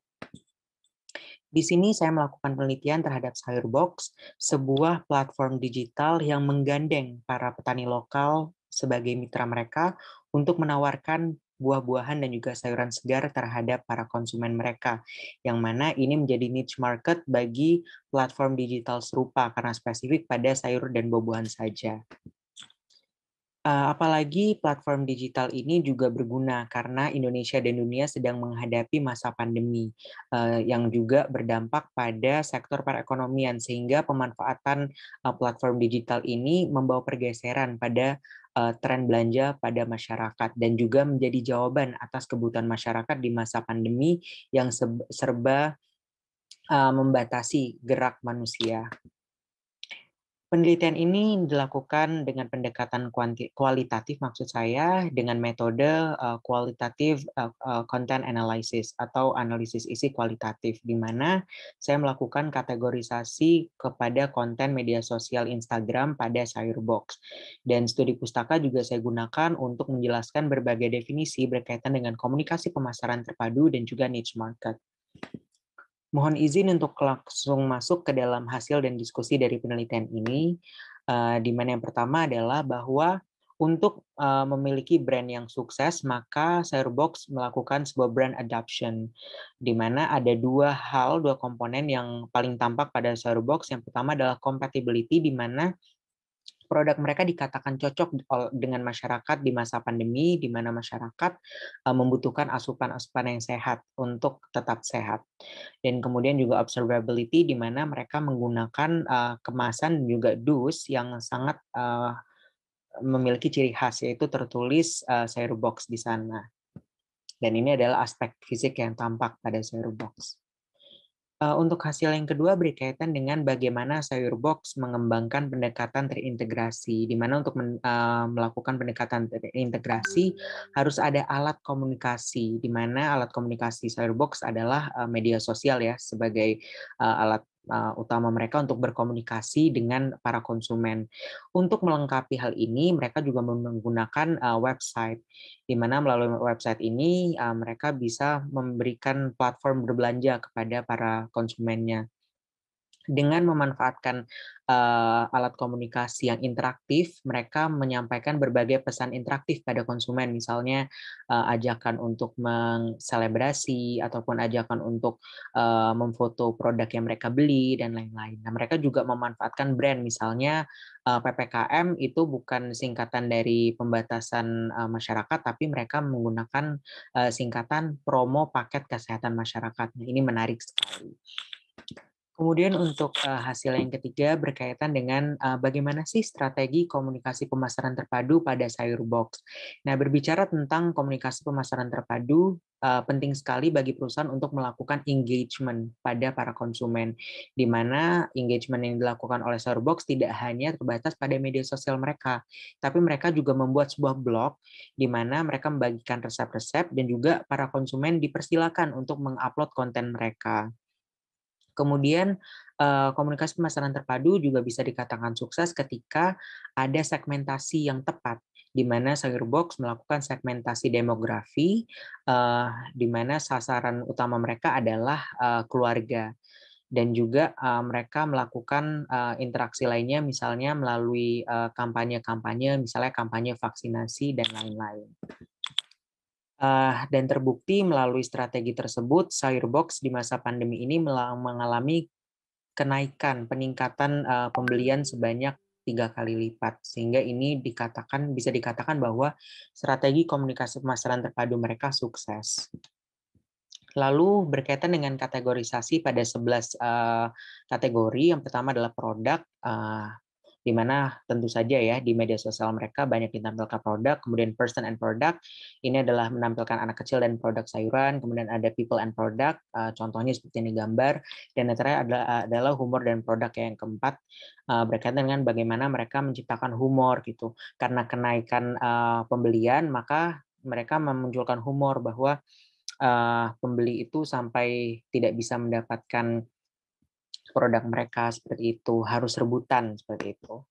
Nah, kemudian juga ada world event, bisa biasanya di hari lingkungan internasional, kemudian ada recipe, ini sangat relevan ya terkait dengan jamu, kemudian ada campaign with no product, uh, kampanye masker ya, kemudian juga ada lifestyle, ini gaya hidup sehat dengan sayuran kukus.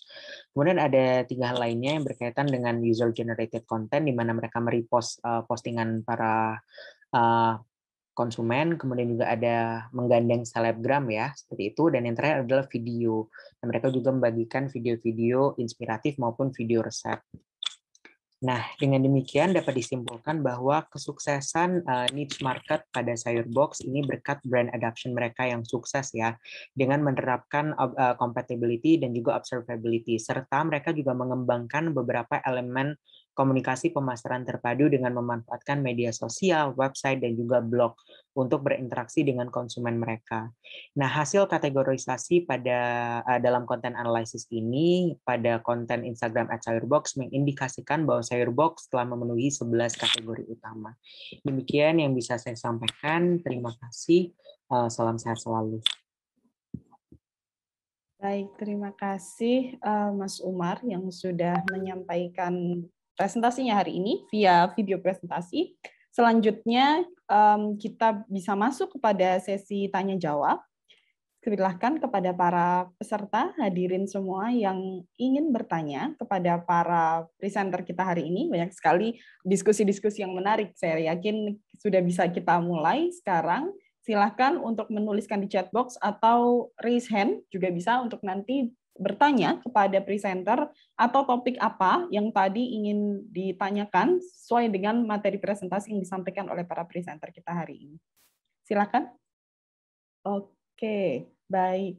Ah, dari Mas Slamet, oh, sudah ada satu pertanyaan dari Mas Slamet dari Unsut untuk Gustaf. Oh, untuk Mas Umar mungkin ya. Mas Umarnya apakah hadir di sini tapi tidak ada ya? Untuk tim teknis bisa mengkonfirmasi?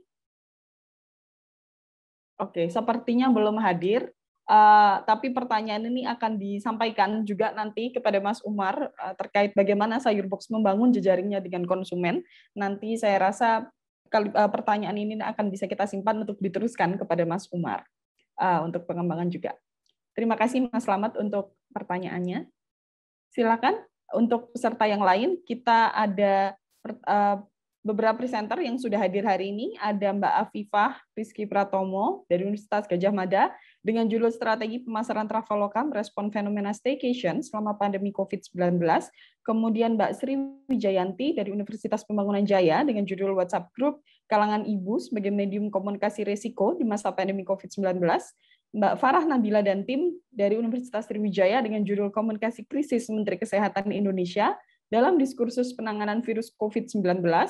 Kemudian dari Mas Musin Alfikri dari FISIP Universitas Sangga Buana Bandung dengan judul Strategi Komunikasi Kesehatan dalam Penanggulangan Pandemi COVID-19 di Jawa Barat. Silakan kepada para hadirin yang ingin mengajukan pertanyaan atau diskusi, mungkin bisa raise hand atau silakan menulis di chat box. Sembari menanti, mungkin uh, ada beberapa poin yang oh ada dari Mas Musa. Silahkan, Mas Musa. Ya. Ya. Baik, uh, terima kasih, ya. Mbak Saifa. Uh, izin ya yang pertama selamat pagi semuanya. Saya agak terlambat.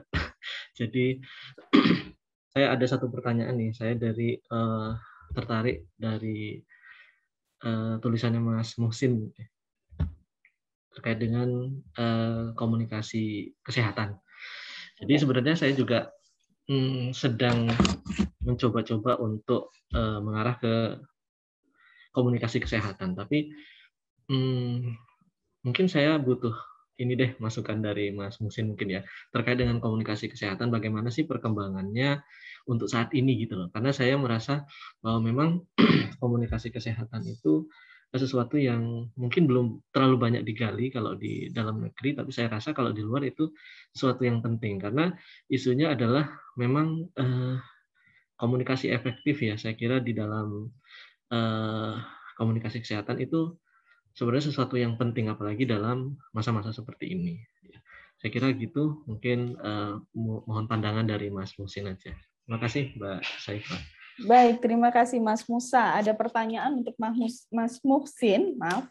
Uh, Mas Musin, bagaimana perkembangan studi komunikasi kesehatan saat ini? Kebetulan uh, tema studinya beririsan dengan minat studi Mas Musa juga. Jadi mungkin bisa banyak diskusi yang bisa dikembangkan, mungkin bisa mendiskusikan soal bagaimana eh, tema-tema studinya saat ini atau perkembangan terkininya seperti apa. Uh, sebelum ke situ ada juga pertanyaan untuk Mbak Sri Wijayanti dari Mbak Gayatri Atmadi dari Universitas Al Azhar Indonesia.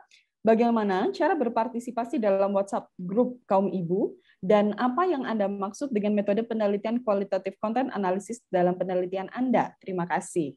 Baik, dan ada satu lagi dari Mas Fahri Zakaria dari Unpad. Silahkan, Mas Fahri. Ya, uh, terima kasih uh, Mbak Tani selaku moderator. Uh, saya tertarik dengan ya. uh, presentasi dari Mbak Sri Wijayanti tadi.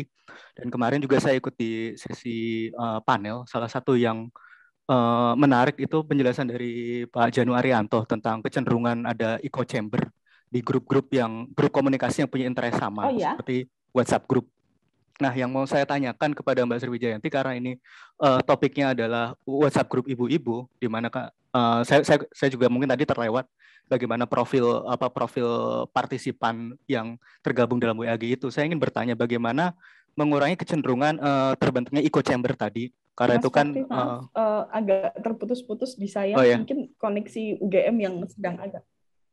Okay. Uh, apakah jelas suara saya, Mbak? Halo. Ya, ya sekarang uh, sudah okay. jelas. Baik. Baik. Uh, saya mau bertanya ke Mbak Sri Wijayanti karena ini terkait WhatsApp group di mana juga anggotanya uh, sebagian besar mungkin punya interest yang sama ya. Itu bagaimana mengurangi kecenderungan terbentuknya echo chamber tadi?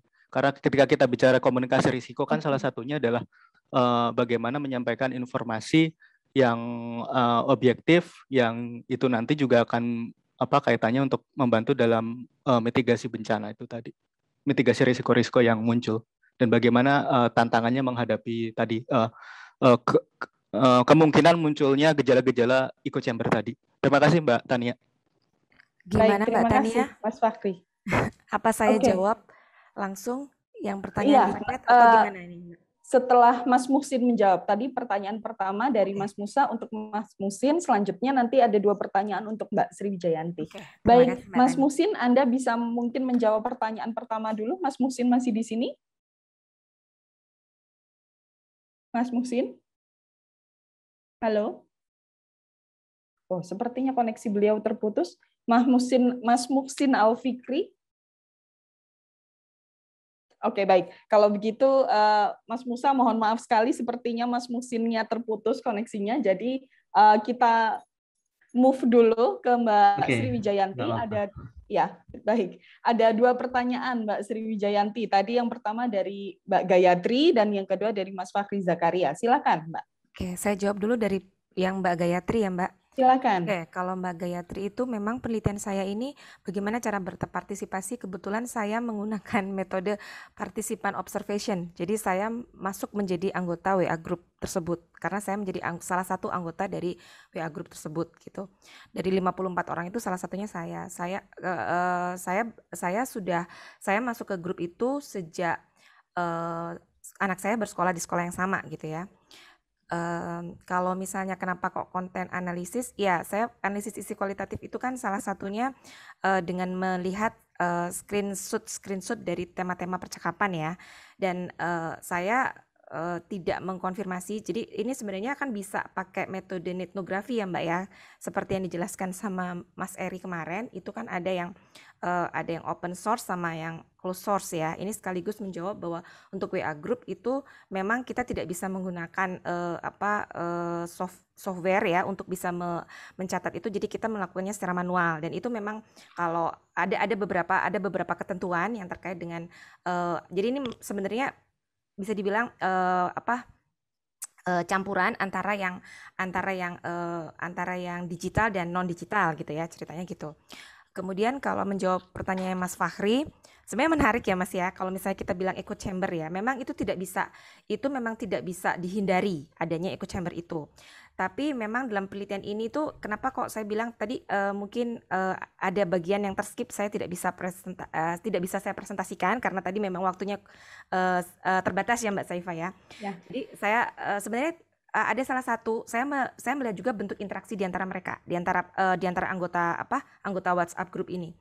Uh, kenapa saya bilang salah satu bentuk interaksinya adalah yang saya temukan adalah Uh, karena karena ada beberapa anggota WA WhatsApp grup dalam WA grup eh, Estimams itu merupakan uh, berasal dari dokter. Ada tiga orang dokter di situ, Mas Fahri. Jadi uh, dan uh, kami mempercayai kredibilitas ketiga anggota tersebut ya. Jadi, uh, dan di situ juga ada yang berprofesi sebagai wartawan di di WhatsApp grup itu. Karena itu menurut saya memang memang tidak bisa memang itu tidak bisa tidak bisa dihindari ya Mas Fahri ya. Cuman uh, kami biasanya kami biasanya akan saling mengingatkan akan saling mengingatkan dalam artian kalau misalnya uh, uh, kita sudah membahas hal-hal yang terkait dengan kontroversial hoax-hoax dan sebagainya biasanya kita akan bertanya kita akan bertanya kepada uh, anggota grup yang menurut kami memang secara kapasitas dia punya kompetensi untuk bisa menjelaskan kurang lebih seperti itu Mas Fahri. Tapi Baik, bagus itu, itu jadi jadi jadi pemikiran buat saya Mbak Tania untuk ke depannya saya mungkin ya. akan meneliti terkait WhatsApp group kembali, tapi terkait dengan terkait dengan konsep uh, ikut chamber tadi. Oke, terima Baik. kasih Mas Fahri. Terima kasih.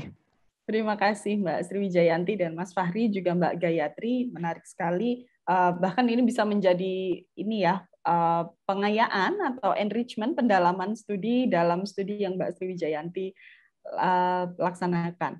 Baik, mungkin ada penanya lagi untuk para pemateri kita hari ini atau di antara para presenter juga boleh mengajukan pertanyaan. Saya rasa tadi ada beberapa uh, poin yang tema studinya juga cukup banyak beririsan. Mungkin apabila ingin menanyakan kepada para presenter satu sama lain juga dipersilakan atau para peserta yang hadir hari ini silakan juga Baik, ada pertanyaan dari uh, Fildan Kresanda Hutama Putra dari Universitas Brawijaya. Bertanya untuk Mbak Sri Wijayanti lagi. Apa yang mempengaruhi pengambilan keputusan kalangan ibu-ibu dalam memilih WhatsApp Group sebagai medium komunikasi resiko? Terima kasih. Mungkin langsung bisa dijawab, silakan. Oke, terima kasih atas pertanyaannya. Kayaknya uh, tema penelitian saya menarik ya Mbak Tania buat yang lain. begitu. Mungkin karena kalangan ibu-ibu kali ya. saya rasa juga karena uh, sangat relatable ya kita semua pasti terhubung dalam WhatsApp group, bahkan mungkin punya WhatsApp group yang beberapa Banyak tapi ya. sama, mungkin betul, tapi anggotanya sama aja gitu. Nah itu mungkin uh, relatable. Ah. Silakan Mbak uh, Iya. Sri Wijayanti.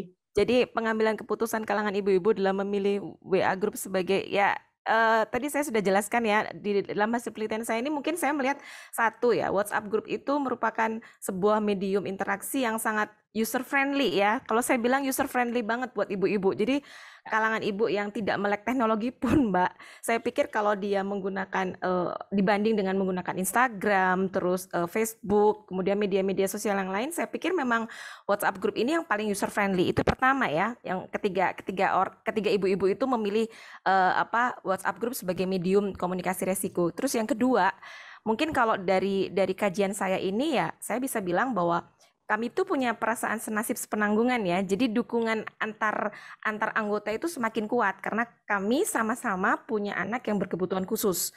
Nah, kebetulan ini ada ada momen di mana ada masa pandemi dan saya melihat eh, menarik gitu loh ketika ternyata diskusi apa tema-tema perbincangan yang ada di WhatsApp grup ini berbeda dari yang sebelumnya. Yang sebelumnya seputar hanya anak a- anak berkebutuhan khusus, ini menjadi berubah gitu loh. Hampir 95% itu malah justru terkait sama COVID. Jadi kalau saya bilang ya faktor faktor utamanya ya jelas user friendly itu. Kalau saya bilang itu, Mbak. Baik, terima kasih Mbak Sri Wijayanti. Eh, tadi kalau saya boleh menangkap, faktor utama tentu user friendly, tetapi faktor lain yang juga menyebabkan kenapa WhatsApp group ini menjadi sebuah medium yang sangat aktif, kan ya mungkin kita juga mengalami ya, ada beberapa WhatsApp group yang kita aktif banget, tetapi ada juga WhatsApp group yang ya kita mute forever gitu mungkin gitu kan. Nah, eh, tetapi ada aspek sense of belonging yang kuat di situ sehingga membuat eh, medium ini menjadi salah satu medium yang efektif untuk mengkomunikasikan resiko kesehatan di masa pandemi COVID-19. Baik, Mas Fildan mungkin ada respon terhadap eh, pertanyaan atau jawaban Mbak Sri Wijayanti? Ya, terima kasih Tani. Ya itu eh, betul eh, setuju kita melakukan BAG itu memang ada kayak kedekatan dengan teman lainnya dan itu ini yang sekali dibutuhkan dalam COVID ini. Kita selalu, menjaga komunikasi itu dengan cara yang informal dan benar-benar ada proximity yang kuat. Intinya mungkin ini juga cara yang bagus ketika memilih BAGRU sebagai media komunikasi risiko. Baik, terima kasih Mas Wildan. Oke. Kasih. Ya, terima kasih. Eh, saya mendapat informasi bahwa Mas Muhsin sudah masuk kembali, sudah bisa terhubung kembali ke Zoom room ini. Selamat siang, Mas Muhsin. Ya, siang, Mbak. Halo. Ya. Nggak apa-apa, Mas. Eh, Mas, Ya. Mas Muhsin, tadi ada pertanyaan yang disampaikan oleh peserta kepada Mas Muhsin.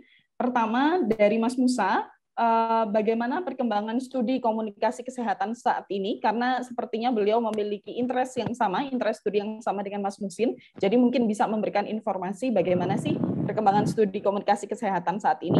Kemudian ada satu lagi eh, via chat dari Mbak Nur Imroatus eh, bertanya tentang bagaimana tadi kalau tadi disebutkan pemerintahan pemerintah provinsi Jawa Barat cukup inovatif dan efektif terkait komunikasi kesehatan. Lalu mengapa Jawa Barat masih menjadi wilayah tertinggi angka korbannya di Indonesia? Apakah inovasi-inovasi yang disebutkan tersebut tidak cukup untuk mengurangi resiko? Silahkan, Mas. Oh ya, terima kasih Eh, untuk eh, komunikasi kesehatan hari ini eh, dengan eh, adanya COVID-19 ini tentu saja ini semakin apa semakin meningkat ya perhatian dan juga dari kalangan akad- akademisi untuk terus melakukan kajian-kajian. Kalau selama ini memang komunikasi kesehatan eh, lebih kepada bagaimana misalnya kampanye ya kampanye hidup sehat eh, kemudian juga bagaimana eh, mereka untuk membung apa namanya membentuk eh, menjadarkan tentang perlunya kesehatan yang mungkin itu levelnya biasa ya. Tetapi hari ini dengan adanya eh, COVID-19 ini maka perhatian dari kalangan akademisi semakin meningkat dan mungkin eh, ke depan akan melahirkan eh, teori-teori yang yang baru ya eh, tentang komunikasi kesehatan ini. Dan saya harapkan ya dari simposium hari ini bisa melahirkan berbagai macam uh, apa teori gitu ya yang yang baru yang bisa diaplikasikan misalnya nanti apabila uh, COVID ini sudah uh, tidak apa sudah sudah berhenti gitu tetapi memang ini cukup uh, cukup masih masih lama kayaknya ya masih panjang sehingga ya kita di uh, di apa di, di dituntut untuk uh, lebih memberikan respon yang apa yang lebih positif gitu. yang keduanya tadi mengenai jumlah kasus di Jawa Barat, ya memang ini karena jumlah penduduknya sangat banyak ya sehingga meskipun sudah mengalami penurunan gitu, tetap sepertinya masih masih tinggi lah gitu ya. Tetapi sebenarnya sekarang sudah apa mengalami satu uh, penurunan yang yang alhamdulillah ya sudah masuk ke ada yang level 3, yang level 2 di beberapa kota kabupaten di Jawa Barat. Nah, sehingga upaya-upaya dari uh, Pemprov Jabar ini ya bisa dikatakan uh, sudah cukup uh, berhasil ya. Meskipun ya tadi karena jumlahnya sangat banyak gitu tetap ini uh, kelihatannya masih ya masih masih tinggi ya jumlahnya.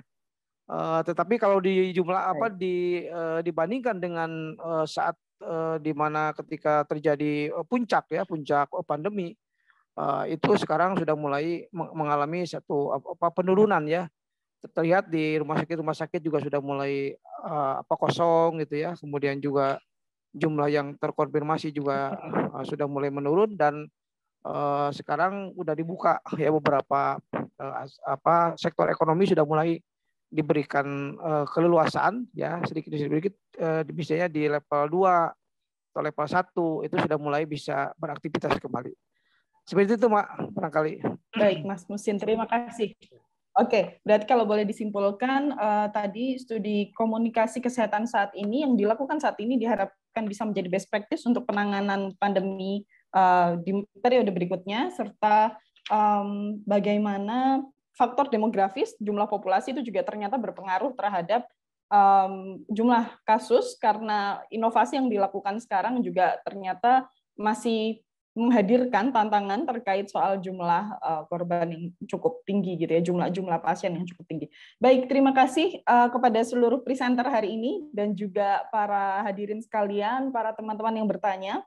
Uh, izinkan saya membacakan simpulan sebelum mengakhiri sesi hari ini. Pertama, kita bisa melihat bahwa dari materi-materi yang disampaikan hari ini, kita bisa melihat bagaimana media digital ternyata berperan penting dalam penanganan pandemi, khususnya dalam komunikasian krisis, baik itu melalui media-media yang sifatnya localized seperti WhatsApp Group misalnya, atau juga dilakukan oleh korporasi-korporasi seperti uh, Traveloka dan juga Sayurbox. Serta terlepas dari berhasil atau tidaknya menggunakan media digital, uh, kita patut meyakini dan beroptimis bahwa media digital memiliki peluang sebagai ruang komunikasi dan interaksi yang berpotensi untuk mereduksi bahkan mungkin kita boleh berharap bisa mengeliminasi kecarut-marut komunikasi krisis yang muncul di masa pandemi ini. Baik, terima kasih sekali lagi untuk para peserta, presenter, dan hadirin sekalian. Baik, terima kasih dan uh, mengingatkan kembali untuk turut serta hadir para presenter, para peserta untuk turut serta hadir di penutupan acara GSSC 2021 nanti pukul 16.15 dan Anda dipersilahkan saat ini untuk kembali ke main room dan uh, melanjutkan aktivitas Anda hari ini. Terima kasih sekali lagi. Salam hangat dari Yogyakarta. Semoga hari Anda menyenangkan. Have a wonderful day and wonderful weekend. Terima kasih. Kami ucapkan selamat datang kembali kepada seluruh presenter dan peserta GSSC 2021. Kami ucapkan selamat sudah bersimposium pada hari ini. Dan tentunya eh, demikian kegiatan diskusi paralel pertama pada pagi hari ini.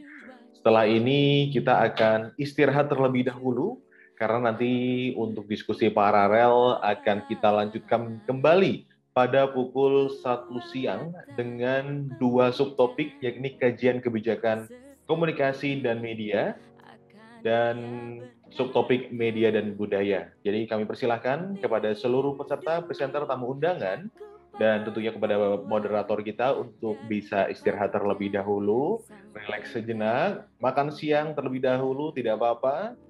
Nanti pukul satu siang atau mungkin setengah satu bisa bergabung kembali di main room kita di Graduate Student Symposium on Communication Science 2021. Dan kami ucapkan terima kasih kepada moderator kita, Mas Wisnu Prasetya dan Mbak Syaifah Tania yang sudah menjadi moderator kita pada diskusi paralel pada pagi hari ini.